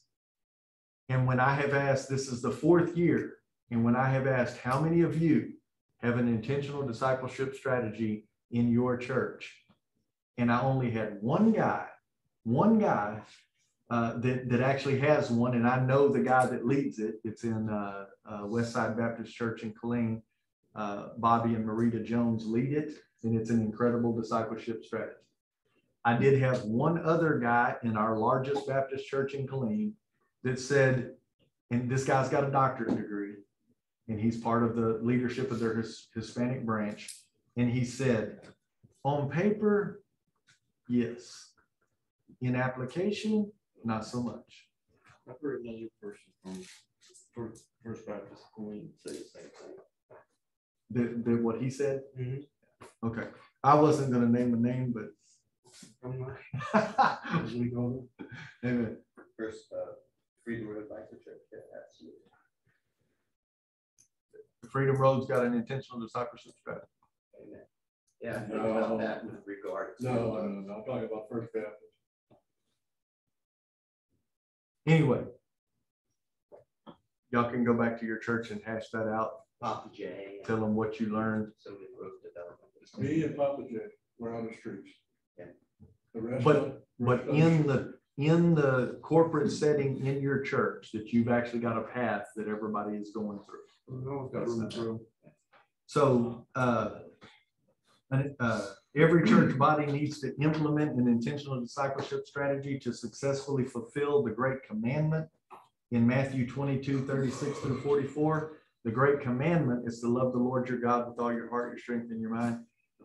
Second is to love your neighbors yourself, and then also the Great Commission, which is what we've been talking about, going and personally making disciples. Um, so the church body must define with clarity what a disciple is and what that will look like in context of that body of Christ. The reason that I say that is because uh, basically what a disciple is isn't going to change among the different churches. That should be pretty much a given. A disciple is someone who is becoming day by day more and more like Jesus Christ. That's the goal. Jesus said the pupil will become as their teacher. And so, but in the context of each body, it may look a little bit different. Uh, Brother Ronnie back here said that he really believes that uh, Celebrate Recovery is a discipleship pathway. Uh, the thing is, you've got to convince everyone they have a habit, hurt, or hang up and get in that. Uh, and, and that may be the challenge unless everybody that comes in comes in through. Well, no, I, I, I see now what you're talking about. You're talking about a program at a church that every single person goes through to make a disciple. So, because I'm thinking right now at our church, we have a discipleship program, but it's, it's not, hey, this is what you need to do. This, actually, it's the, um, Saba San Antonio, they have a little last a year, you get school credits for it and everything. And that's their discipleship program but very few. Maybe I think they had like four people last year go through it. So very. few How big is the have gone through church? About two hundred people. Two hundred people and they had four in a year. But they go through it, say so- they say we got fifteen hundred members. But you know, Well- two hundred people show up on a Sunday. You know how that goes. Yeah. Um, we do C three T, care and counsel for combat trauma. Not only uh, fruitful for individuals, uh, but anybody who wants to learn how to help people that have PTSD in their own church, right? It's a thirty hour certificate course. Uh, guys are getting two or three credit hours from Excelsior University for it. Um, did it for two years out at Fort Hood at the Spiritual Fitness Center and had fruit from that. Uh, but but I've had three opportunities in different places at churches that ended up diffusing. Uh, COVID had a lot to do with that too. But, but that is also very specific. It's not for your average, average housewife to go through. So, so this is about within your church body for everyone to be able to go through it. Uh, and, and most churches that do offer some type of discipleship, it's like an elective, Right. right? And so, uh, but, the, but the key though is, is people need to understand what a disciple is. What does it mean to be a disciple of Christ? I think we, Calling. right, we've, we've, well, the, the calling, the moment you got saved and you repented and the Holy Spirit came to dwell within you, you entered a covenant with Jesus Christ to be his disciple. The thing is, what does that look like? Well, number one, to be Christ-like. If, what did Jesus say? The pupil will become, once he's fully trained, like the teacher. So the, the number one thing in discipleship is what are we doing in our churches to help people be Christ-like, right? Uh, so these are the things that we have in, in our own church, but these are some of the things, discipleship goals. To be Christ-like, worship daily as an individual and corporately on a regular basis. I was just having a conversation with uh, someone earlier about uh, a family went on vacation. Um, but while they were on vacation, they also went on a vacation from God. no devotions. They did, you know, we're, That's wrong. it's a day-to-day thing. It is an everyday thing. Worship is not a once a week, Sunday morning thing. To me, if you're doing that, you just didn't create the habit to begin with. Right. There's no way, even when I'm on vacation, I, I, there's no way I can, I mean, coffee and the word is part of my routine of just waking up. Right, but if you, if you've been in a church like the one that I was at, the church I got saved at, I came out of the baptistry, they put me in the pew and said, come to the appointed services and put something in that plate, preferably ten percent when it comes around and you'll be a great church member. And for a while, I was a really good church member and I was a pathetic follower of Christ because there was nothing spiritual to that. And so worship is a daily practice for the individual and corporately on a regular basis.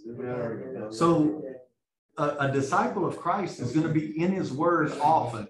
Now, I'm not going to say that uh, 365 days a year that I've read four chapters a day of the scripture, you know, but six out of seven days a week ought to be a, a pretty good goal, you know. Uh, every day is the goal. Every day is the goal. You Yeah, should say, that's just kind of odd, I like, I hate to keep beating this, horse, but it's just so odd to me that once you create the habit, it's like with praying, right? Praying is real hard to do for like ten minutes, but once you create that habit of thirty minutes, you don't even try.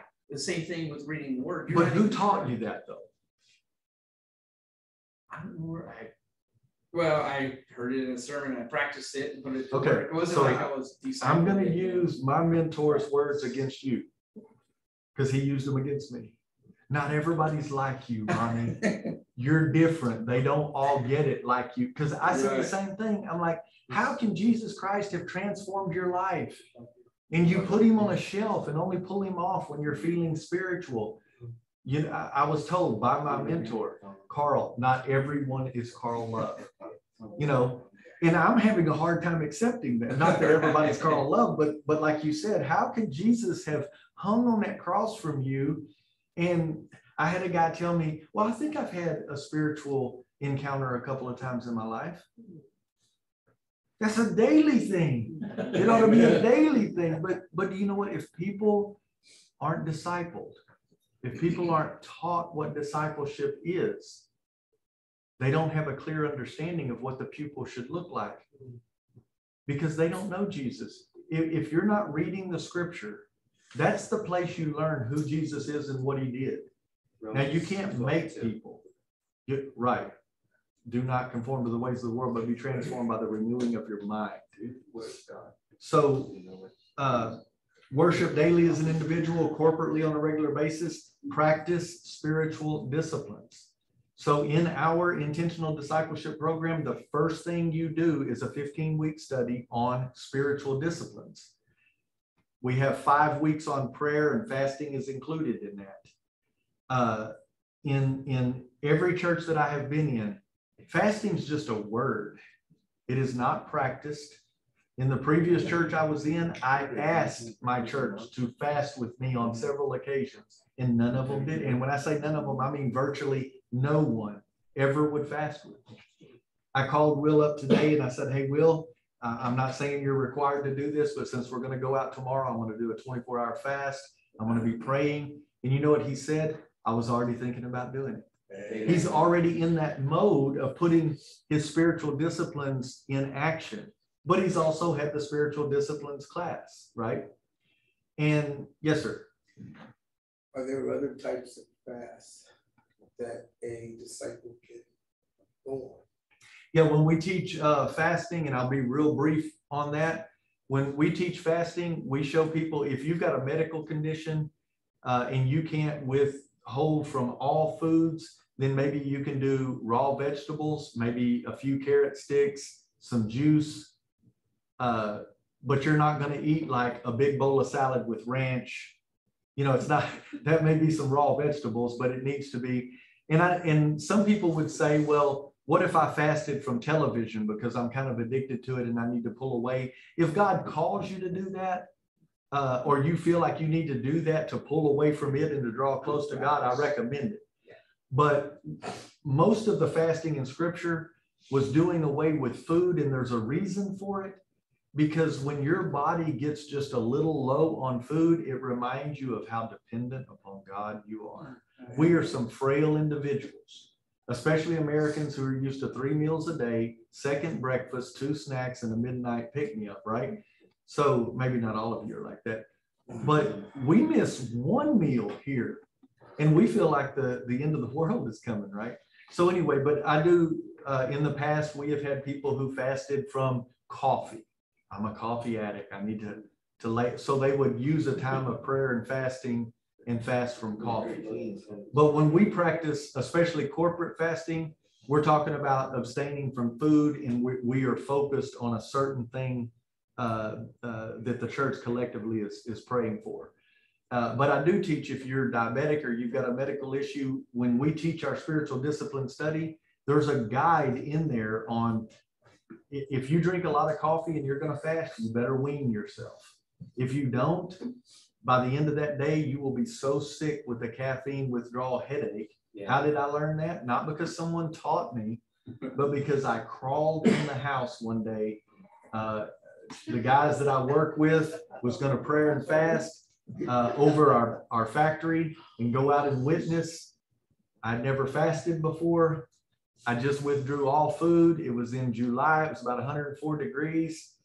I literally crawled in our front door, and my wife is like, What is the matter with you? I'm sick. I crawled in our front door. Guess what? I didn't fast for a long time. And then I did a study, a spiritual discipline study. I learned when you should fast, why you should fast, and how you should fast. So, anyway, we, when we teach that, uh, but spiritual disciplines, how to separate yourself so you can actually hear from God. You know, there are people out there that say, God only speaks through his word. I had a pastor tell me that one time. God does not talk to people anymore. He only speaks through his word. I said, then how did you, how did you know what to preach this Sunday? Uh, Mm. Let's do this. now he- thanks, Lord. Yeah. Throw the dart, what? So what is the leading of the Holy Spirit if God isn't speaking to us? Right. Right. It's. If you take experience in God, God speaks to us through prayer. God speaks through us through his word. God speaks to us through circumstance, through other people. And there's one more. There's five of them. Anyway, Environment around us. so uh, there needs to be these discipleship goals, participates in community within the church body. Sunday morning was not designed uh, to be intimate. It just wasn't. It's a corporate time for us to come and worship. We create times uh, where smaller groups get together so they can get to know one another. It, it's creating community, uh, gives of time, talent, resources, and money. And so that's part of spiritual disciplines is learning to orchestrate your your life in a way that you've got time for God, and that's time for the Ronnie, the devotionals you were talking about, the prayer, giving time to God, talents. That's what Brother Sylvester wants to see a little more of from, from the church is talents, resources. When I was teaching our spiritual disciplines one time, we were talking about resources. Uh, I, I, and I shared this with y'all before, but the lady had never thought about that she was a widow living in a two-story house on the lake. I started talking about opening up a home for a community group. And she goes, wait a minute, I got this big old house. I love people coming over to my house. And then to our benefit, it was at the lake with the big deck. I mean, it was a perfect match, but she had never thought about using her house to glorify God. Resources, tools, whatever you have. Um, who gives immeasurably more than you could have for. Right. Serves in the ministries of the church body. Uh, and this is inside and out. So it can be a ministry, street ministry like you and Papa do. Uh, and then reproduces themselves. Disciples should be reproducing themselves. Uh, when you have opportunity, as Miss Tina's going to have to share her testimony, to witness to her family, she is not in charge of the results, but she's in charge of her obedience to trying to make other people disciples of Christ. So if you're going to start an intentional discipleship path in your church, people need to understand what's expected of them. What does that, what does a disciple in this church look like? Uh, and so those were some of the characteristics. You may think some of them are ridiculous. You may think there needs to be more, but those are ones that we have in ours. And then the intentional discipleship path, that's what we started calling it, to stay away from that word program because everything seems to be a program. Uh, attend the new members class. In the new members class, they will learn the mission, vision, and values of the church, the doctrinal beliefs, and what their next step is in the discipleship strategy. At our church, on the tables, we sit at round tables. There is a little TP-shaped uh, card that says, what is your next step in the path of transformation? And then it lists the steps. Take the membership workshop, join a community group, uh, begin discipleship classes, make disciples. So they know that, hey, th- these are some next steps. What's my next step? On the screen every Sunday morning, we have a, a slide that comes up in PowerPoint that says, what is your next step in the path of transformation? We keep it in front of them all the time. So even if you're a new person in our church or a guest, pretty soon somebody's going to say, okay, what's this step thing? What's my next step, right? Amen. So uh, we don't actually have a new members class. We have what we call a membership workshop. And the way that works in our church is you take the membership workshop to see if you really want to be a part of our church. We've had people who took the membership workshop and said, eh, I don't think I want to be a member of this church. And we say, okay. And we're okay with that because we shared with them what our mission, what our vision, what our values are, what's going to be expected of them if they join.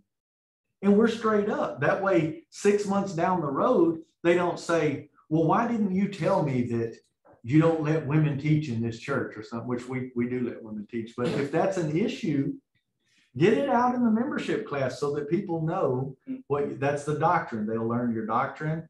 Uh, they'll learn mission, vision, and values you may have somebody come to your church and they go through a membership workshop and you say, we reach out to drug addicts, people with hurts, hangups, habits. So you're going to see a lot of people that have been down and out. And they may say, I've got little kids. I don't want to be around that. And you say, well, I'm sorry. My kids are, right? Right. Right? So just be honest up front, And that's what our membership workshop is about. You don't become a member by taking the membership workshop. You learn who we are. And then you see if you want to be a member or not, right? So in our membership workshop, after you take the membership workshop, if you want to be a member, then you sign our covenant. Oh yeah, that's on the next step. Uh, on the screen and on the little sign. That's one of the steps, sign the covenant. Should we call it probation?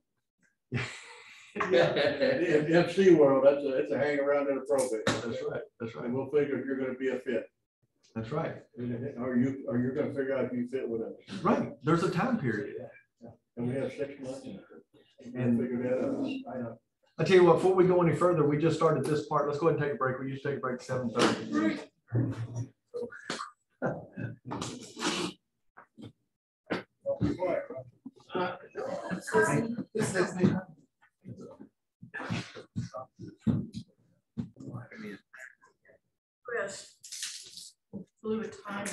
Okay, so uh, some, some churches will have a new members class, which will be their discipleship uh, path. But that's not what ours is designed to do. Uh, But I have heard of churches, new membership class will be like a, a ninety day path to help them learn some disciplines, learn about the church.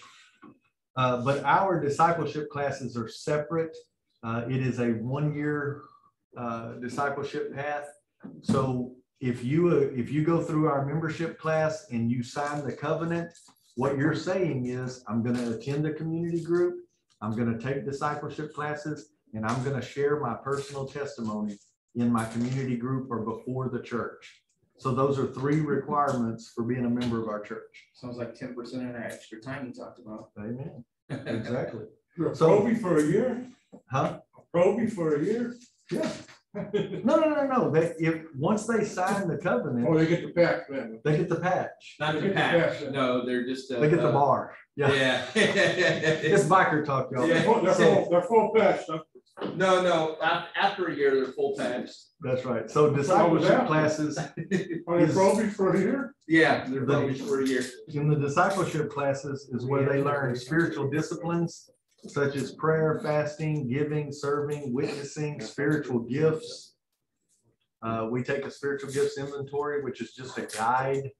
Uh, but in these discipleship classes, uh, we just assume that people know how to pray.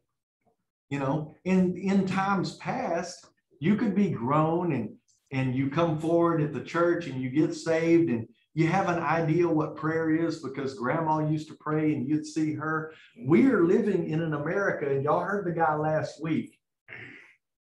He said that only thirteen percent in Texas, only thirteen percent of people were attending church on Sunday. Thirteen percent. That means over eighty-five percent of people are not attending church. Mm-hmm. And many of those people, just like me, I was a grown man and never heard the gospel of Jesus Christ. Never heard the, the good news that Jesus died for my I'm sins. gonna spend the rest of my life looking for that person, because I have not found it yet. What, Ninety what- which percent of the time, the answer you get is, oh yeah, I'm saved, I know Christ already.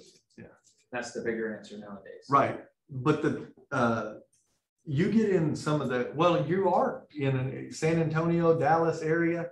Uh, you've got people that, uh, I just heard testimony, I went to a conference called, uh, Diaspora. And they're reaching out to internationals, Afghans who are being shipped here, they've never heard of Jesus Christ. So we do have people more and more here who not only don't know the gospel, they don't even know the author of the gospel. Hmm. So, uh, but discipleship classes are where we teach people to pray. Uh, when I first got saved, I had no clue what prayer was. And no one taught me how to pray, fasting, giving. I was told to put ten percent in the plate. That's not how I teach giving. We are in, in our discipleship classes right now, we're teaching a, a part of our discipleship called, uh, uh, generosity. And it teaches us to be generous with our time, talent, resources, and money. It's not just about money. Yeah, that's not as bad as the book, spiritual. Yeah, it's not as bad as the book. But see, he's gone through this stuff, so he knows he's these comments. But in the in the generosity study, it's teaching you, uh, and we haven't got there yet, but it, it's going to give a ladder, and it asks you questions, and you have to put where you're at in your generosity. The bottom one says, "I'm greedy and stingy. I don't give nothing." Uh, that's what it says. And it goes up the ladder, and when it gets to ten percent, it says, I'm a legalist. I give what's required. And it's got stuff in between and it's got several above that. You give what's required, it's so much greedy. But, right. So what it does is it gives you a realistic uh, understanding of where you're at. But then it lets you set the goal of where you want to be. And especially if you've got somebody discipling you, it helps you to get to that point. So we don't just stand in the pulpit and say, you need to give 10%. What if God tells you to give 50? I'm going to ask you to join my church and be obedient to his command. There's, I'm gonna cut your grass. at, at this place where tithing is a regulatory thing. Uh, but the offerings that come after that, you can never outgive God. Amen. And that's what it That's where you learn the reaping of, of that, uh, that joy. Uh, when you're given, you're giving an opportunity. Uh, and, and God is always looking for those who will equitably distribute his graces. And like the talents, wasn't, Mm-hmm. uh, the gentleman over here was talking about that. And, uh, you know, the more you give, the more God provides for you, so you can give. You know, it- he who has been given much, much is expected. Expected, that's right. So the discipleship classes are where we teach people how to be like Jesus. And almost all of it is written from the perspective of this is what Jesus did, this is what he showed his disciples, this is what's expected of you. And then community groups, uh, we model our community groups after Acts chapter two. The disciple will experience Bible study, prayer, fellowship, and partaking of a meal together. Now, some, some churches have the traditional Sunday school Wednesday night, that's fine. Uh, but that can't be the extent of your discipleship pathway, because most of those look, you know, Sunday school and Wednesday usually look pretty similar. uh, and you don't, you don't, uh, experience community in it. So like in our community groups, we meet for two hours. In the first part of it, we have a meal together and we visit with one another. We fellowship with one another. We pray for one another in those groups. There are times when we'll lay, we'll put somebody in a chair and we will lay hands on them and pray on them. And so they're a lot more intimate and it's to help us build community. And just like we had a meeting this past Sunday, it was not a business meeting. We call ours family meetings. We are trying to get our people to understand that we are a family. We're not a business. We're not an organization. We're the family of God. And so we try to build community, ministry opportunities. Uh, the church body should have a clear path to areas inside the church body and outside the church body where the disciple can use their gifts and talents to serve in various ministry opportunities. Teaching children, praise team choir, food bank, prison, host a community group. You see, the lady that I had talked to had never thought about opening her home for one of our community groups. So now she's using her gift of hospitality and the resources that God's given her, and the church body benefits from it. So she she experienced two things. One, she already knew she had the gift of hospitality, but she never thought about inviting people into her own home to use it. We were rotating and bringing meals. I'd bring a meal one week, this person would bring a meal. She said, since we meet in my house and I love to cook anyway, how about if I just cook every week? And I said, absolutely not. Your food stinks. No, I said, of course you can, because she's an awesome cook, right? So every now and then we would get together and say, next week, you're off the hook. We're going to bring something.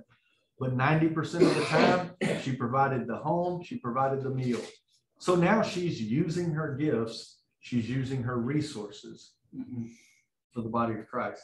So, and then reproduce themselves. The church body should have a clear evangelism strategy for training and equipping the disciple, how to share their testimony and witness to their family, friends, and coworkers. We talked about that last week. We've we've done several evangelism models in here, but it needs to be a clear path, the same thing that you're leading everyone through. By being consistent like this, somebody doesn't have to come to Pastor Carl and say, Hey, Pastor Carl, remember that thing you taught? Will can be sitting in a community group and they start talking about it and Will's, they can ask Will, why? Because we're all doing the same consistent program or pathway. Uh, and then personal discipleship. This is what we talked about earlier. A Paul Timothy or Naomi Ruth relationship. The church body should have a mentoring strategy to partner new followers with mature disciples to help them grow in their walk with the Lord. Sometimes you need to have someone you can trust. You're not going to do this in Sunday morning. You're not going to do it in a community group, but one on one, you can say, This is what I'm struggling with. How can you help me to get over this? And you you trust that person. You're meeting one on one with them. You have uh, trust that they're not going to blab your issues to everybody. That they're actually praying for you and they're modeling what that looks like in their own life to you. Uh, and then also the Paul Timothy or Naomi Ruth, where uh, I think I said it backwards here. No, I, I did it right. So Yeah. the disciple becomes the mentor and begins to disciple others. So you can be like myself. I've got two mentors actually. One of them I meet on a weekly basis with. The other one I don't get to meet with as often, but I do meet with him. Uh, but I have somebody pouring in my life every single week. But I'm also pouring into other men's life. Every one of us need to have somebody smarter, more uh, influential, with more experience pouring into our life. It also needs to be somebody that loves you enough that'll say, Sylvester, that ain't right. Right? But they're doing it out of love, not just trying to be critical. If all you're going to do is criticize without praying for and helping them to get through it, you're just being mean. And that's not Christ like. So, uh, my both of my mentors have looked at me more than once and said, Brother, you can do what you want to do, but I, you're wrong. And I had to pull back and go, Ow. And then it teaches you something. How do you respond to someone who loves you enough to tell you. to tell you the truth? Amen. And that's where maturity begins to come in. And do you know what else it does? When you have to do that to somebody you're mentoring, Ah, you're a whole lot more graceful because you've experienced yourself. This is what it's about. It's about having people pour into us, us pouring into the next generation. We form accountability partnerships, right? Right. So we have this, uh, uh, and I'm not saying we have it perfect. Trust me, I've got folks in my church here tonight that'll tell you we're a brand new church. And I have not been in a church yet that had an intentional discipleship path except the one I pastored and introduced the discipleship too. Uh, so we're, we've seen some mistakes. We're making some changes. We're doing some things. But if somebody was to say, hey, Pastor Carl, does your church have an intentional path to take someone from an unchurched lost person to a committed follower of Christ? I can honestly say, yes, we do. And it's in practice. It's in practice on multiple levels, on a corporate level and on one-on-one individual level. And uh, we have community groups that are building community, praying for one another. Uh, hopefully going to do a little bit better job of reaching out to their neighbors. Um, but we're still working it out, you know. But we do have an intentional discipleship pathway. And as we've learned tonight, uh, it's missing in the church today. It is missing in the church today. The last thing I want to share with you, um, and I know you feel like you're probably being flooded with a fire hose, but uh, that's why we have these handouts so you can go back and kind of absorb it. Uh, you can look at these videos again on YouTube, uh, like our brothers in Uganda. Uh, listen to it again if you need to. Um, and like I said, especially to you planters, I will have a flash drive that has the whole discipleship pathway that we do. And uh, I've offered it to some brothers in other churches and they act like they didn't want it.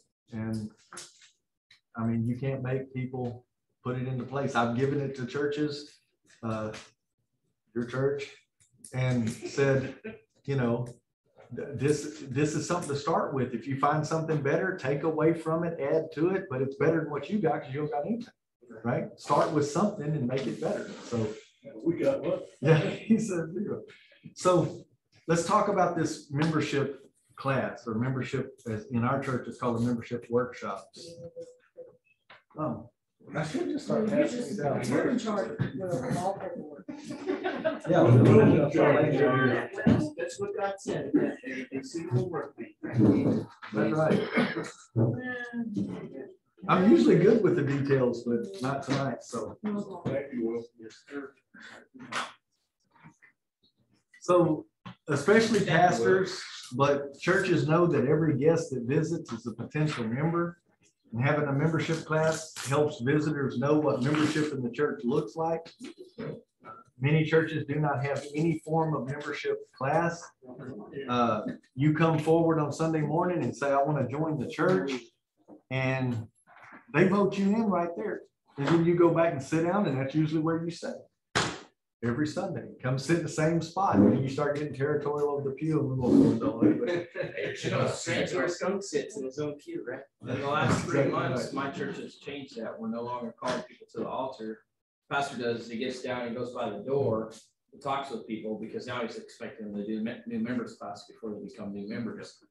So, but I don't know where the voting is coming in involved in voting them in as new members because I never see that no more. My past six months, it hasn't been. So I'll address that real quickly.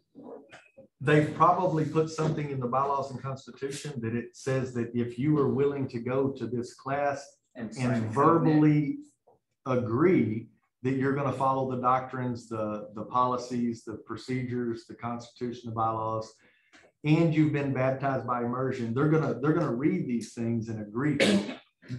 And so the church has basically voted by saying if they're willing to say yes after going through this, then we'll accept them into membership. So that's probably how they're, they're handling that. Uh, because we don't vote on it either. Once you come to the membership workshop and we tell you that before God and everybody here, you're gonna sign this covenant or not. And if you're willing to lie to God and us, we can't help you anyway. So, so once you sign that covenant, you're saying, I agree with the doctrine, I agree with the mission, vision, and values, and I see what's expected of me, and I know what I can expect from this church. See, in our covenant, it's a two-way thing. We say, and what you can expect from us is this, and it's lined out. And so when they sign that covenant, they know what they're getting into. So, uh, and I think it's wise what your church did. So, uh, membership class will help visitors to better understand the history, beliefs, vision, and what the church desires to accomplish in the kingdom. It will also allow the visitor to interact with other potential members as well as leadership. Membership classes are also less intimidating than walking an aisle on Sunday morning to join a church that you know nothing about, right? So my wife has said this many, many times. uh, What is our profession of faith? I mean, what do we do to show our profession of faith? What is the outward public profession of faith? It's baptism. That's right. And so we insist that our outward profession of faith is walking down an aisle. But our profession of faith is our baptism, right? Well, what if you've already been baptized? Do you need to walk an aisle to be your public profession of faith? Or can you go to a membership class and meet the requirements and join the church and the church be okay with that? Some churches can't handle that. If you don't walk that aisle, you're not getting baptized. If you've been baptized, you don't walk that aisle, you're not being a member of the church. It's pretty rigid. And I don't know that it's biblical, you know? So, uh, Sometimes we uh, find places where they adhere to the letter of the law and completely miss the intent. Exactly, exactly. So um, notice that I talked about potential uh, members who are already Christians. Now, somebody who isn't saved, you need, they need to know how I can go about getting saved in your church. Uh, we give invitation for that. But when you come forward, uh, in which I don't give an invitation every week, this past week, I just prayed over everyone. Uh, we've, we're fairly small. I can tell everybody in here has signed the covenant. We're not going to do an invitation for salvation, right? So, uh, but, but people need to know how they can receive Christ. You need to be clear about that. And if someone comes up, we'll let them receive Christ. Our job is to get them in the kingdom. But if you want to be a member of the church, you still have to go. So you can be baptized into the kingdom in our church and not be a member of our church yet. You still need to go to the membership workshop. So So about if you have letter of profession though? we don't do letters of profession. Mm. You know why? Because- Church is like your church. No, there's a, there's a, there's a better reason than that. We don't do letters of profession because typically, when I pastored my previous pastorate, we were a Southern Baptist church. And ninety percent of the people that joined our church were not from a Baptist denomination. They won't honor a letter anyway. Oh, I would think that it would have to be from a Southern Baptist Right. church in order to be a letter of profession, period. But did you hear what I said? Ninety percent of the people who were joining our church that were Christians were coming out of the Catholic Church, coming out of the Pentecostal Church, coming out of the Church of Christ. Those three main ones.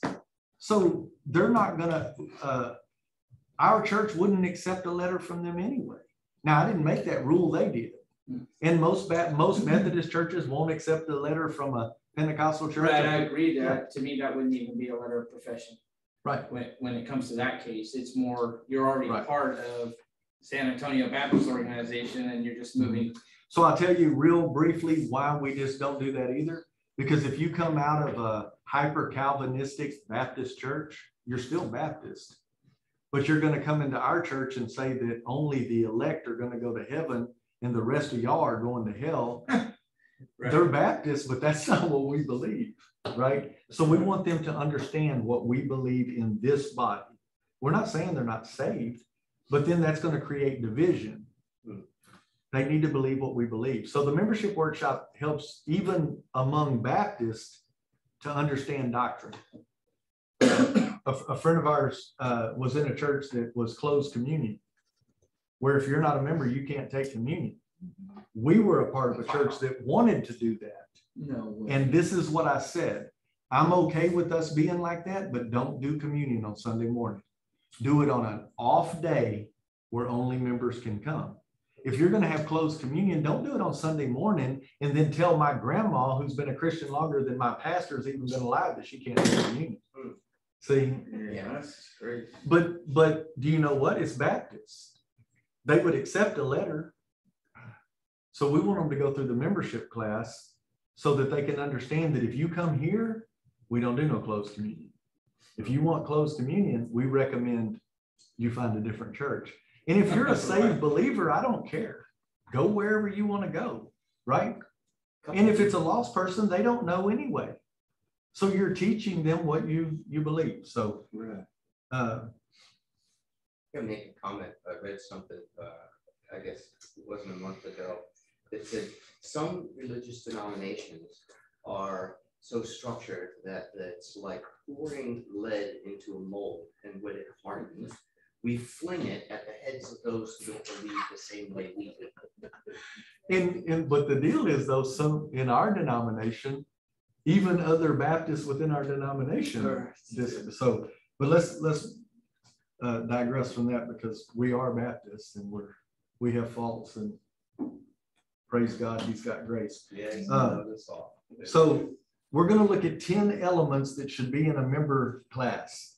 Uh, these topics will help potential members make a decision about joining the local church body. An introduction, make everyone feel welcome and comfortable. Uh, allow for a time of introduction from themselves. You know, that way every, everybody can, it might even be good if, if you have a, a, a membership workshop to let everybody sign a, I mean, not sign, but uh, uh, make a name tag like we just did at the annual meeting. And that way they can see their name and not have to go, hey, you. uh, Hey, you. So, but introduction is good. Um, and then history, share a little history of how and when the church was started. Uh, many of our older churches have a rich history. Share some of the high points. Whether the church body is a new start or a very old congregation, it's good to share some history with potential members. I put this in here because I asked one of my mentors, not the one that's a member of my church, but the one who's not. I asked him to come sit in on our first membership workshop and critique him. I asked him to come tell me what would make it better. And he did.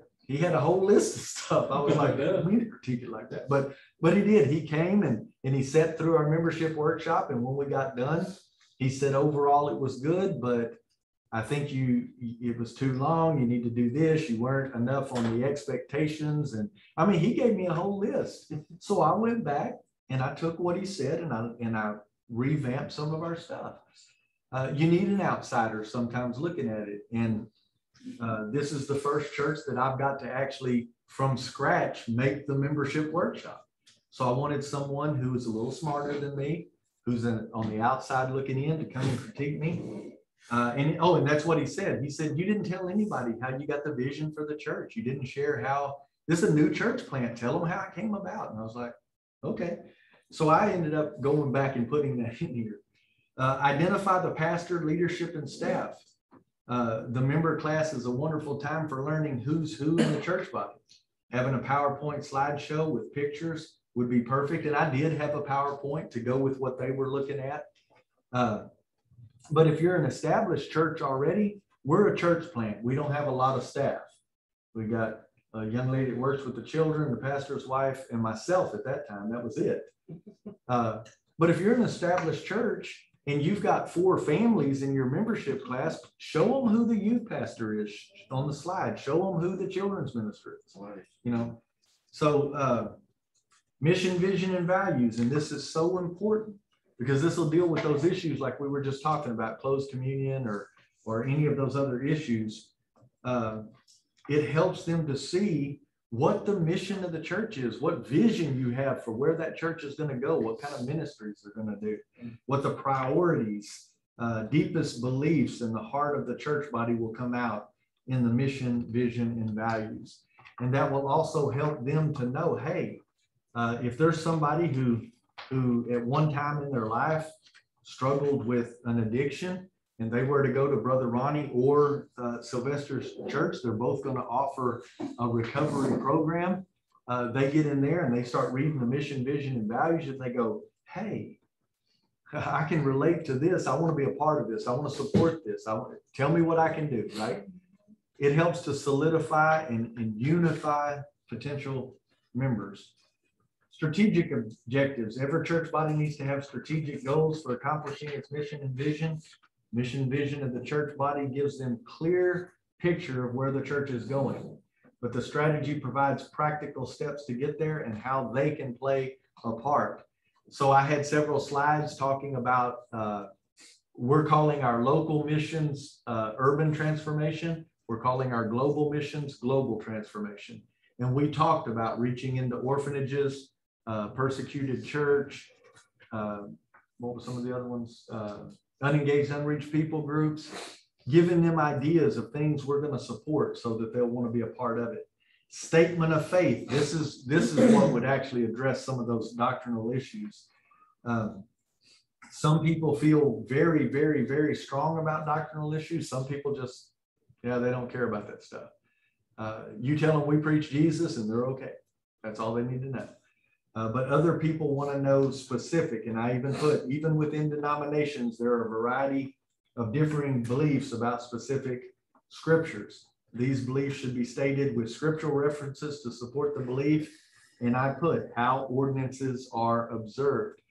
Uh, in a previous church that I pastored, I allowed someone besides me to do a baptism, and that caused a little conflict.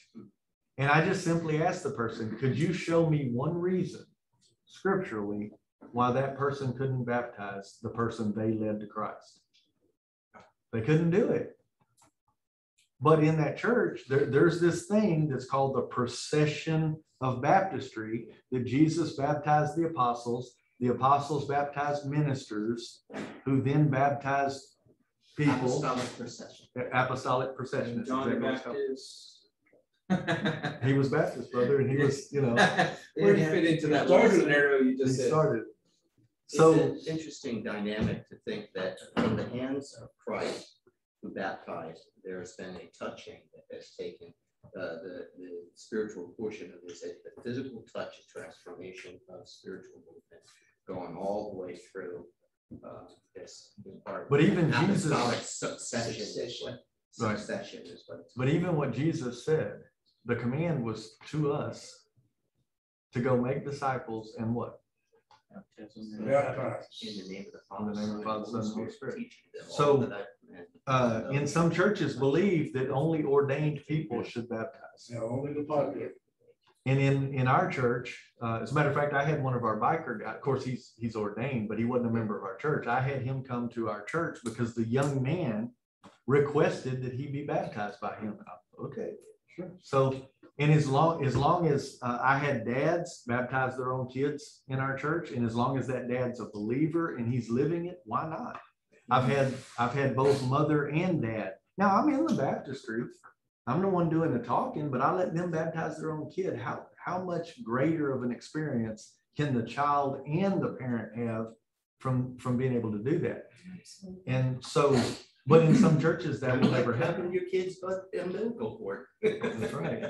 So, uh, You have ways of putting things in. perspective. also take the ordinances, for example. Uh, in the previous pastorate that I was at, only ordained deacons could pass out the crackers and the grape juice. Well, yeah, that's a Baptist. Yeah. Well, guess what? I got down to two bap, to two uh, deacons and one of them had severe Alzheimer, Alzheimer's. So we had to take him and put him up there with the plate and just say, stand right here, brother, whatever you want me to do. And he just stood there.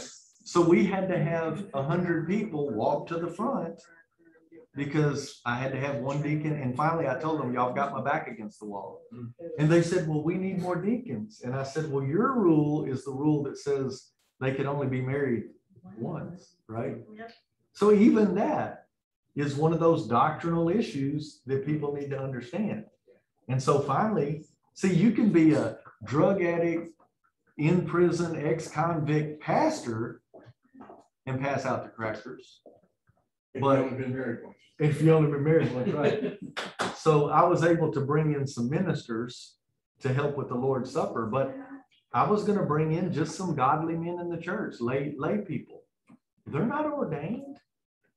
And I was like, I didn't know you had to be ordained to pass out. say that in the book? So that's what I'm talking about in the, in your statement of faith, people need to understand what it's gonna look like, you know? So, and then what the church expects from members. This is important too.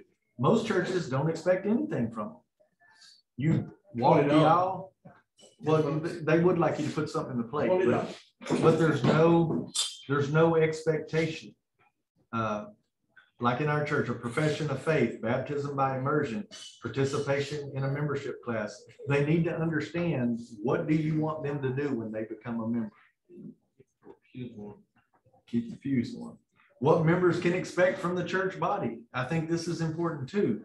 Uh, communicate to the potential members that the church will facilitate an atmosphere for their spiritual growth and illustrate what that will look like in the church. So they're going to sound biblical preaching, community groups, discipleship training, ministry and missions opportunities, counseling. Let them know what, what the church is going to provide for them as well. Uh, safe place for their children. I didn't put that on there. That'd be a good one to put. Uh, in our policies, we put that everybody that works with children is going to be background checked and child protective training. If not, you have cops looking. to So. Well, but that also makes parents go, hey, I like that. Yeah. You know, so, uh, church governance, this is another Oh, important thing. Can we leave that one out? We just talked about this in our family meeting, uh, Sunday. This may not matter much to some people, but others it's very important. Communicate to your potential members what the leadership structure looks like and how decision-making is accomplished. Many Baptist churches are autonomous and congregationally led. People may have been raised in a different culture, uh, church culture, may not understand what this means. The unchurched people will surely not understand it. And so I explained to our congregation yesterday that, that right now is a mission, and y'all be mission churches as well. We are under the governance of what's called a strategy planning team. So we have representatives from Texas Baptist, representatives from Bell Baptist, and our sponsor church pastor and me are our strategy planning team. Everything I do runs through them. They look at all of our financial things. They're, they're the leadership of our church until we are no longer a mission. Once we are no longer a mission, we will have a bylaws and constitution in place. And our people need to know what their role is. And we will be a hybrid. We are not going to be a congregationally led church. And in my 20 years experience uh, of congregationally led churches, at some point in time, you get people who think they know better about running a church than those who've been trained. And it leads uh, usually to the downfall of the church or divisions in the church. So we're going to be elder led, which is what I see in the scripture. But there were some things in the scripture that you see the congregation doing. It said that when they chose deacons, the apostles told the congregation, choose seven men among you, right? So we see the congregation had in that. But what did Paul tell Titus? He said, go to every city and appoint elders in every church. right? So we see some, some almost dictation, but we see some congregation led. Church governance is important and they need to know that because you don't want them to join the church and then they start saying, well, you, we, we need to do this. And I say we vote on this. We don't vote here. Well, if I don't have a say, I'm not gonna be a part of this church. It'd be, it'd be better for them to know that in the very beginning, right? So, uh, and then allow for some question and answer time. This is very important. Uh, if there, I also say if there's something you'd like to ask me, maybe that you just want to ask me in private, you can ask me, but give a time for some question and answers. But these are some things that would make a membership class uh, effective and, and give people an understanding. And membership is part of discipleship, right? And so hopefully with these three pieces of paper will help uh, you to better plan out. So-and-so over here led this young man to Christ. What is his next step? Well, in most churches, they would say, well, he needs to start coming to church on Sunday. Okay, what, what's his next step after that? Uh, is he baptized? You know, there's no real plan for what his next step is. So no matter what level of spirituality you are in our church, there's a next step for you. There is a next step. And so was that? Right. And so it, no matter where you are in your walk, you know, well, uh, I'm in a community group. You don't have to be a member of our church to be in a community group. We've had people come to our community group, never, never been to our Sunday service. After they've come to the community group, they say, okay, these people are all right. So they go check out the Sunday service. Well, what's your next step? Well, they're already in a community group. Next step would be the membership workshop. Next step is signing the covenant. Next step is, once you sign that a covenant, you've agreed to share your testimony. You've agreed to take discipleship class. They can see a clear path of what it looks like to be a disciple in our church. So. Does anybody have any questions? Yeah. What's your? Yeah, the church planners. Well, I mean, you said, you said that out of the church planting, we're a mission church. Mhm. And a mission, mission church, we're gonna have a government body, Mhm. right? They're gonna say what the, what Mhm. the, or just say, so what is this for then? The, the governance part of it? No, this. Oh, you the just membership said. Yeah. it- you- Well, just like- Not, I mean, who's, who's this for? I mean, how do you Well, it's still for you, just like, just like yesterday, we had a family meeting. And we talked about the fact that for the next one year, we're still under mission status. We're still governed by the strategy planning team. But we're already still putting leaders in place, leaders of community groups, uh, children's leaders. Um, but every quarter, I give a, re- a report back to this strategy planning team, and they're gonna ask me questions about it. And they're not dictators, they're just overseers. They're, but we don't have an active bylaws and constitution yet. Okay, We are working on that right now. By the end of this year, we have to have something ready to put in place.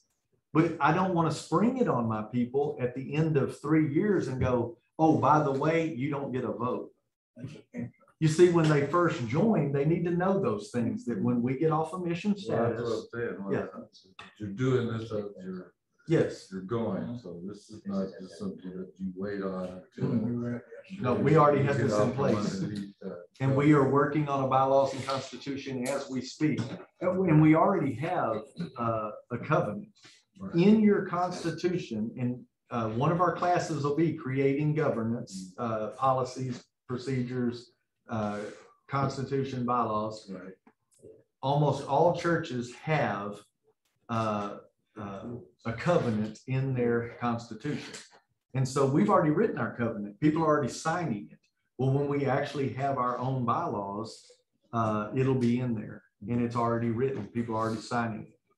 Uh, if you go to the Texas Baptist website, you can look up samples of uh, bylaws and constitution, uh, job descriptions, all of that. But we're gonna, we're gonna cover that. before Right, this is over. right. I was just wondering why.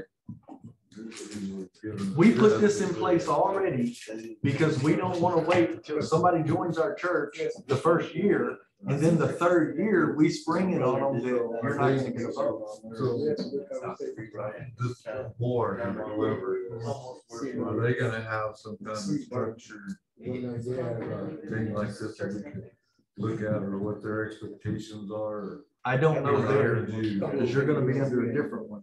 We have. Yours will be uh, partially in New Mexico. Right, So I don't know what it'll look well, I like. mean, this one, uh, the, I mean, do you- was would they be?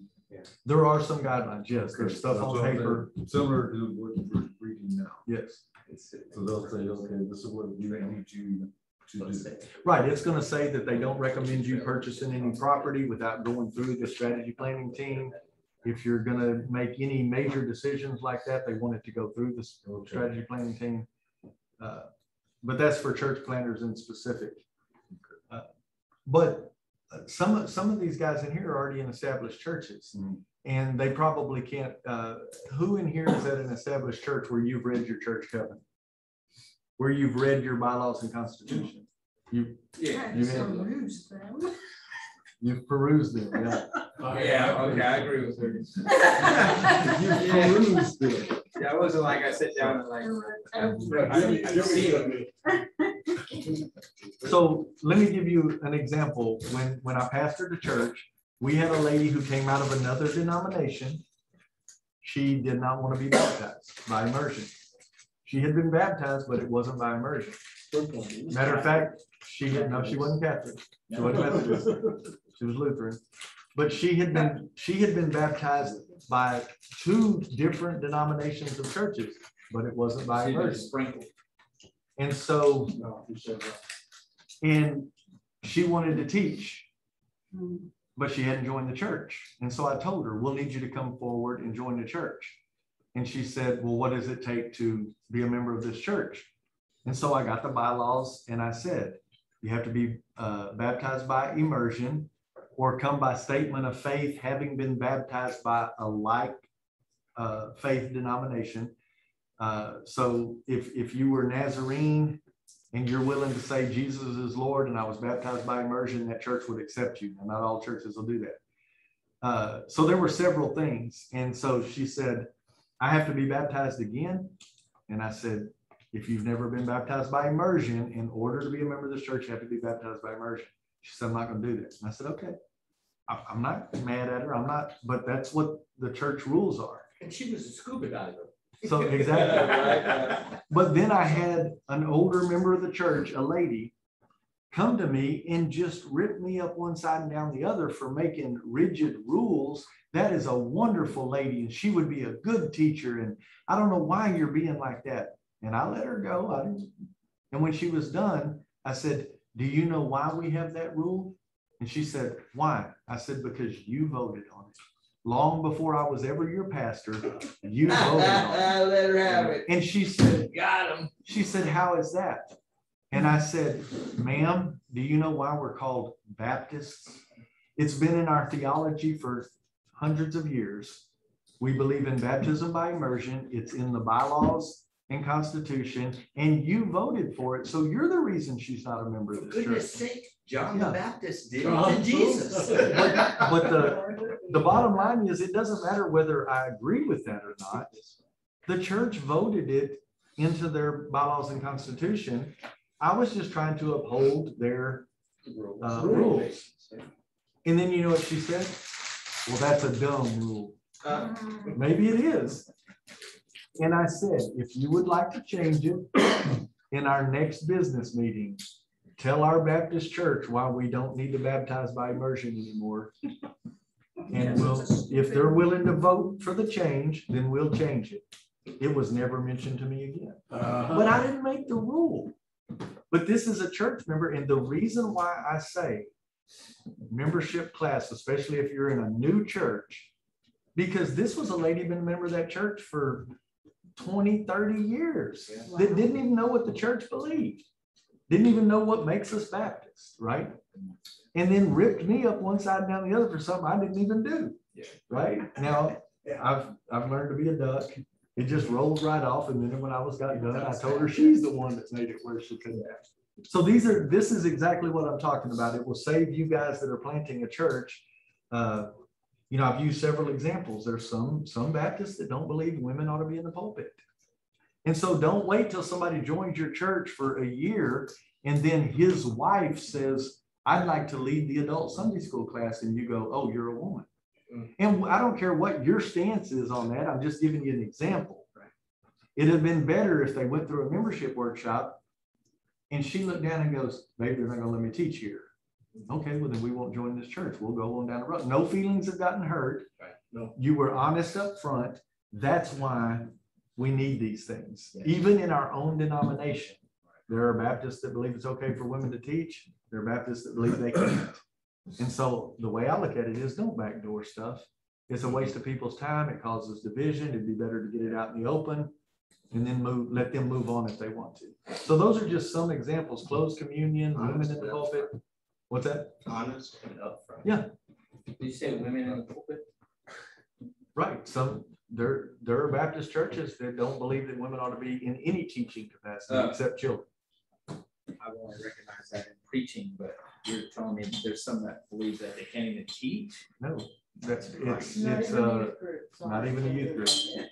Wow. And that's in, from Baptist to Baptist, that's not another denomination. This is the reason that we don't accept a letter. Because you, I don't know what you, your, the church you came out of believed in. Even though we're both in the, in the Southern Baptist Convention. So, so that's the reason for that. What was crazy is they would supply that letter, us deacons would read it, and then they would still go through the new members class. I mean, I don't know what the letter really did, to be honest with you. It's tradition. That's what we've always done. You- the- the And it was three- always the older traditional service that would bring those letters. you know. Right, right. So any other questions? All right, one more question. What is your definition of unchurched? Okay, Because you keep saying unchurched and lost. the reason I say. Well, Like if they're lost, they probably don't go to church. But if you, we- if I use the term unchurched, which I've never What it said. understood that, because I, even though I don't go into your buildings, Right. I still go to church. Right. The, the reason I say unchurched and lost is because there are people who are churched and lost. And then there are people who will claim to be a Christian and they have not been in a church in twenty years. They're not church. They're, they're not affiliated with the church. They don't identify with the church.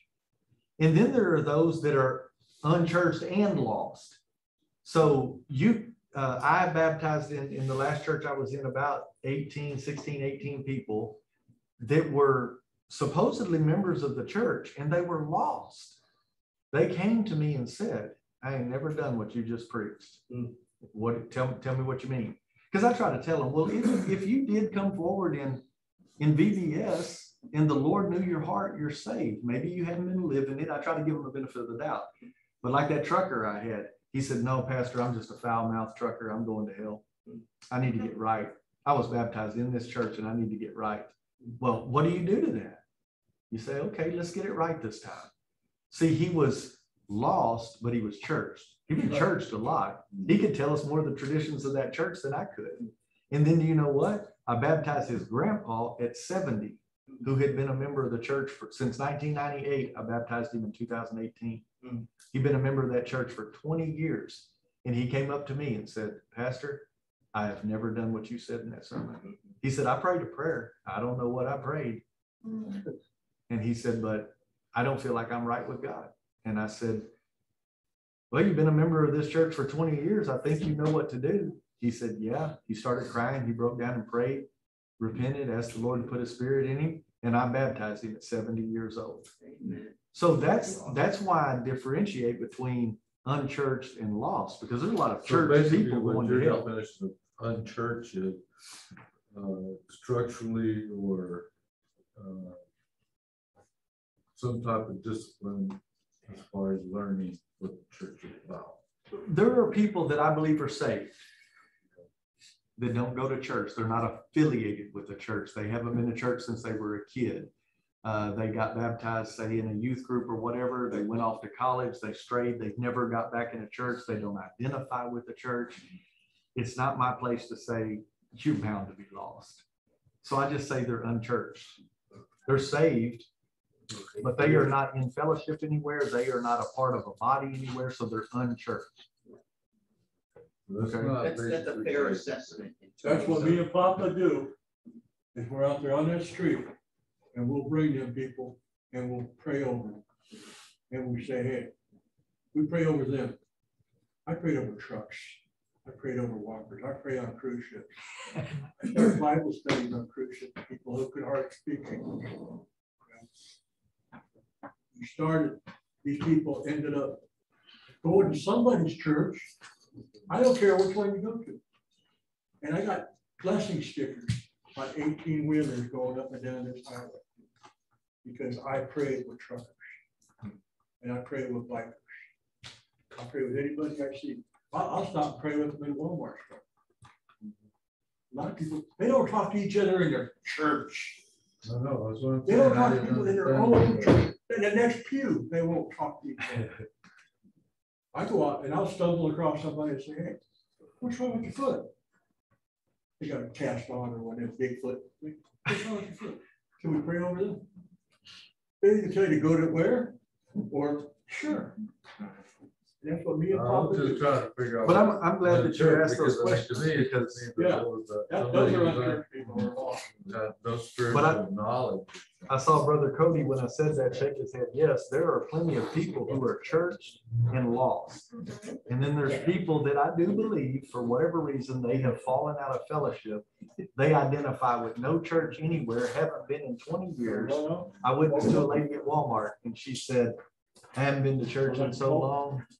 I, I'm not even gonna grace the doors. And she believes she's saved. And whether she is or not, it's not for me to determine. She's definitely a disobedient Christian and wonders why nothing goes right in her life. But that's not for me to judge. So I would say, maybe she is saved, maybe she's not. God will determine that, but she's definitely not connected to a body anywhere. So. Uh, if there's not any more questions, I'm gonna close this in prayer. I did have a, uh, one announcement for next week. Next week's class is not gonna take the whole time. Uh, I had it on the syllabus as a class lab.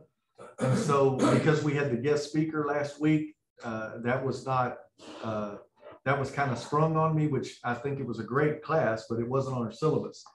So next week's is gonna be short.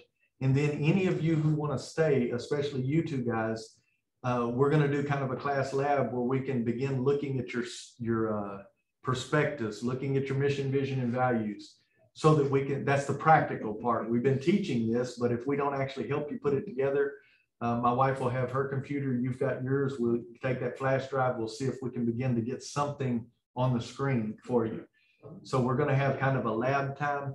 So we are gonna, we are gonna talk about, uh, what's on the syllabus. I don't remember what it is. What it is, Uh, huh? what it is, we don't know what it is.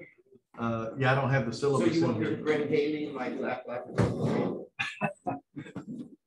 Hey, she's been a guest in our class many times. Let me close this in prayer. Let me close. That year, Lord, we thank you so much for your presence tonight. We thank you for uh, just the way you discipled, Lord, the way you led by example, the way you uh, taught and illustrated, the way you gave practical application. Lord, you are the ultimate disciple maker. And Lord, I pray that you would help us as we plant churches, as we lead in our churches. I just pray, Lord, that we would be disciple makers in our individual lives, but Lord, also that in our churches, that we would have a plan for taking people uh, who don't know you and help them to, to become committed followers of uh, such a great God. And so, Lord, thank you for this time we've had tonight. Lord, I thank you for all of our pastors in Uganda, for Brother Ed and Brother Alex as they lead. And I just pray, Lord, your blessing over them. And I pray that these uh, classes are helping them as well. Lord, go with everyone tonight as they travel. I just pray your hand of uh, grace and mercy on them, protect them. Uh, and Lord, thank you for the calling you've put on each one of our lives. And may we glorify you in that calling. In Jesus' name I pray. Amen.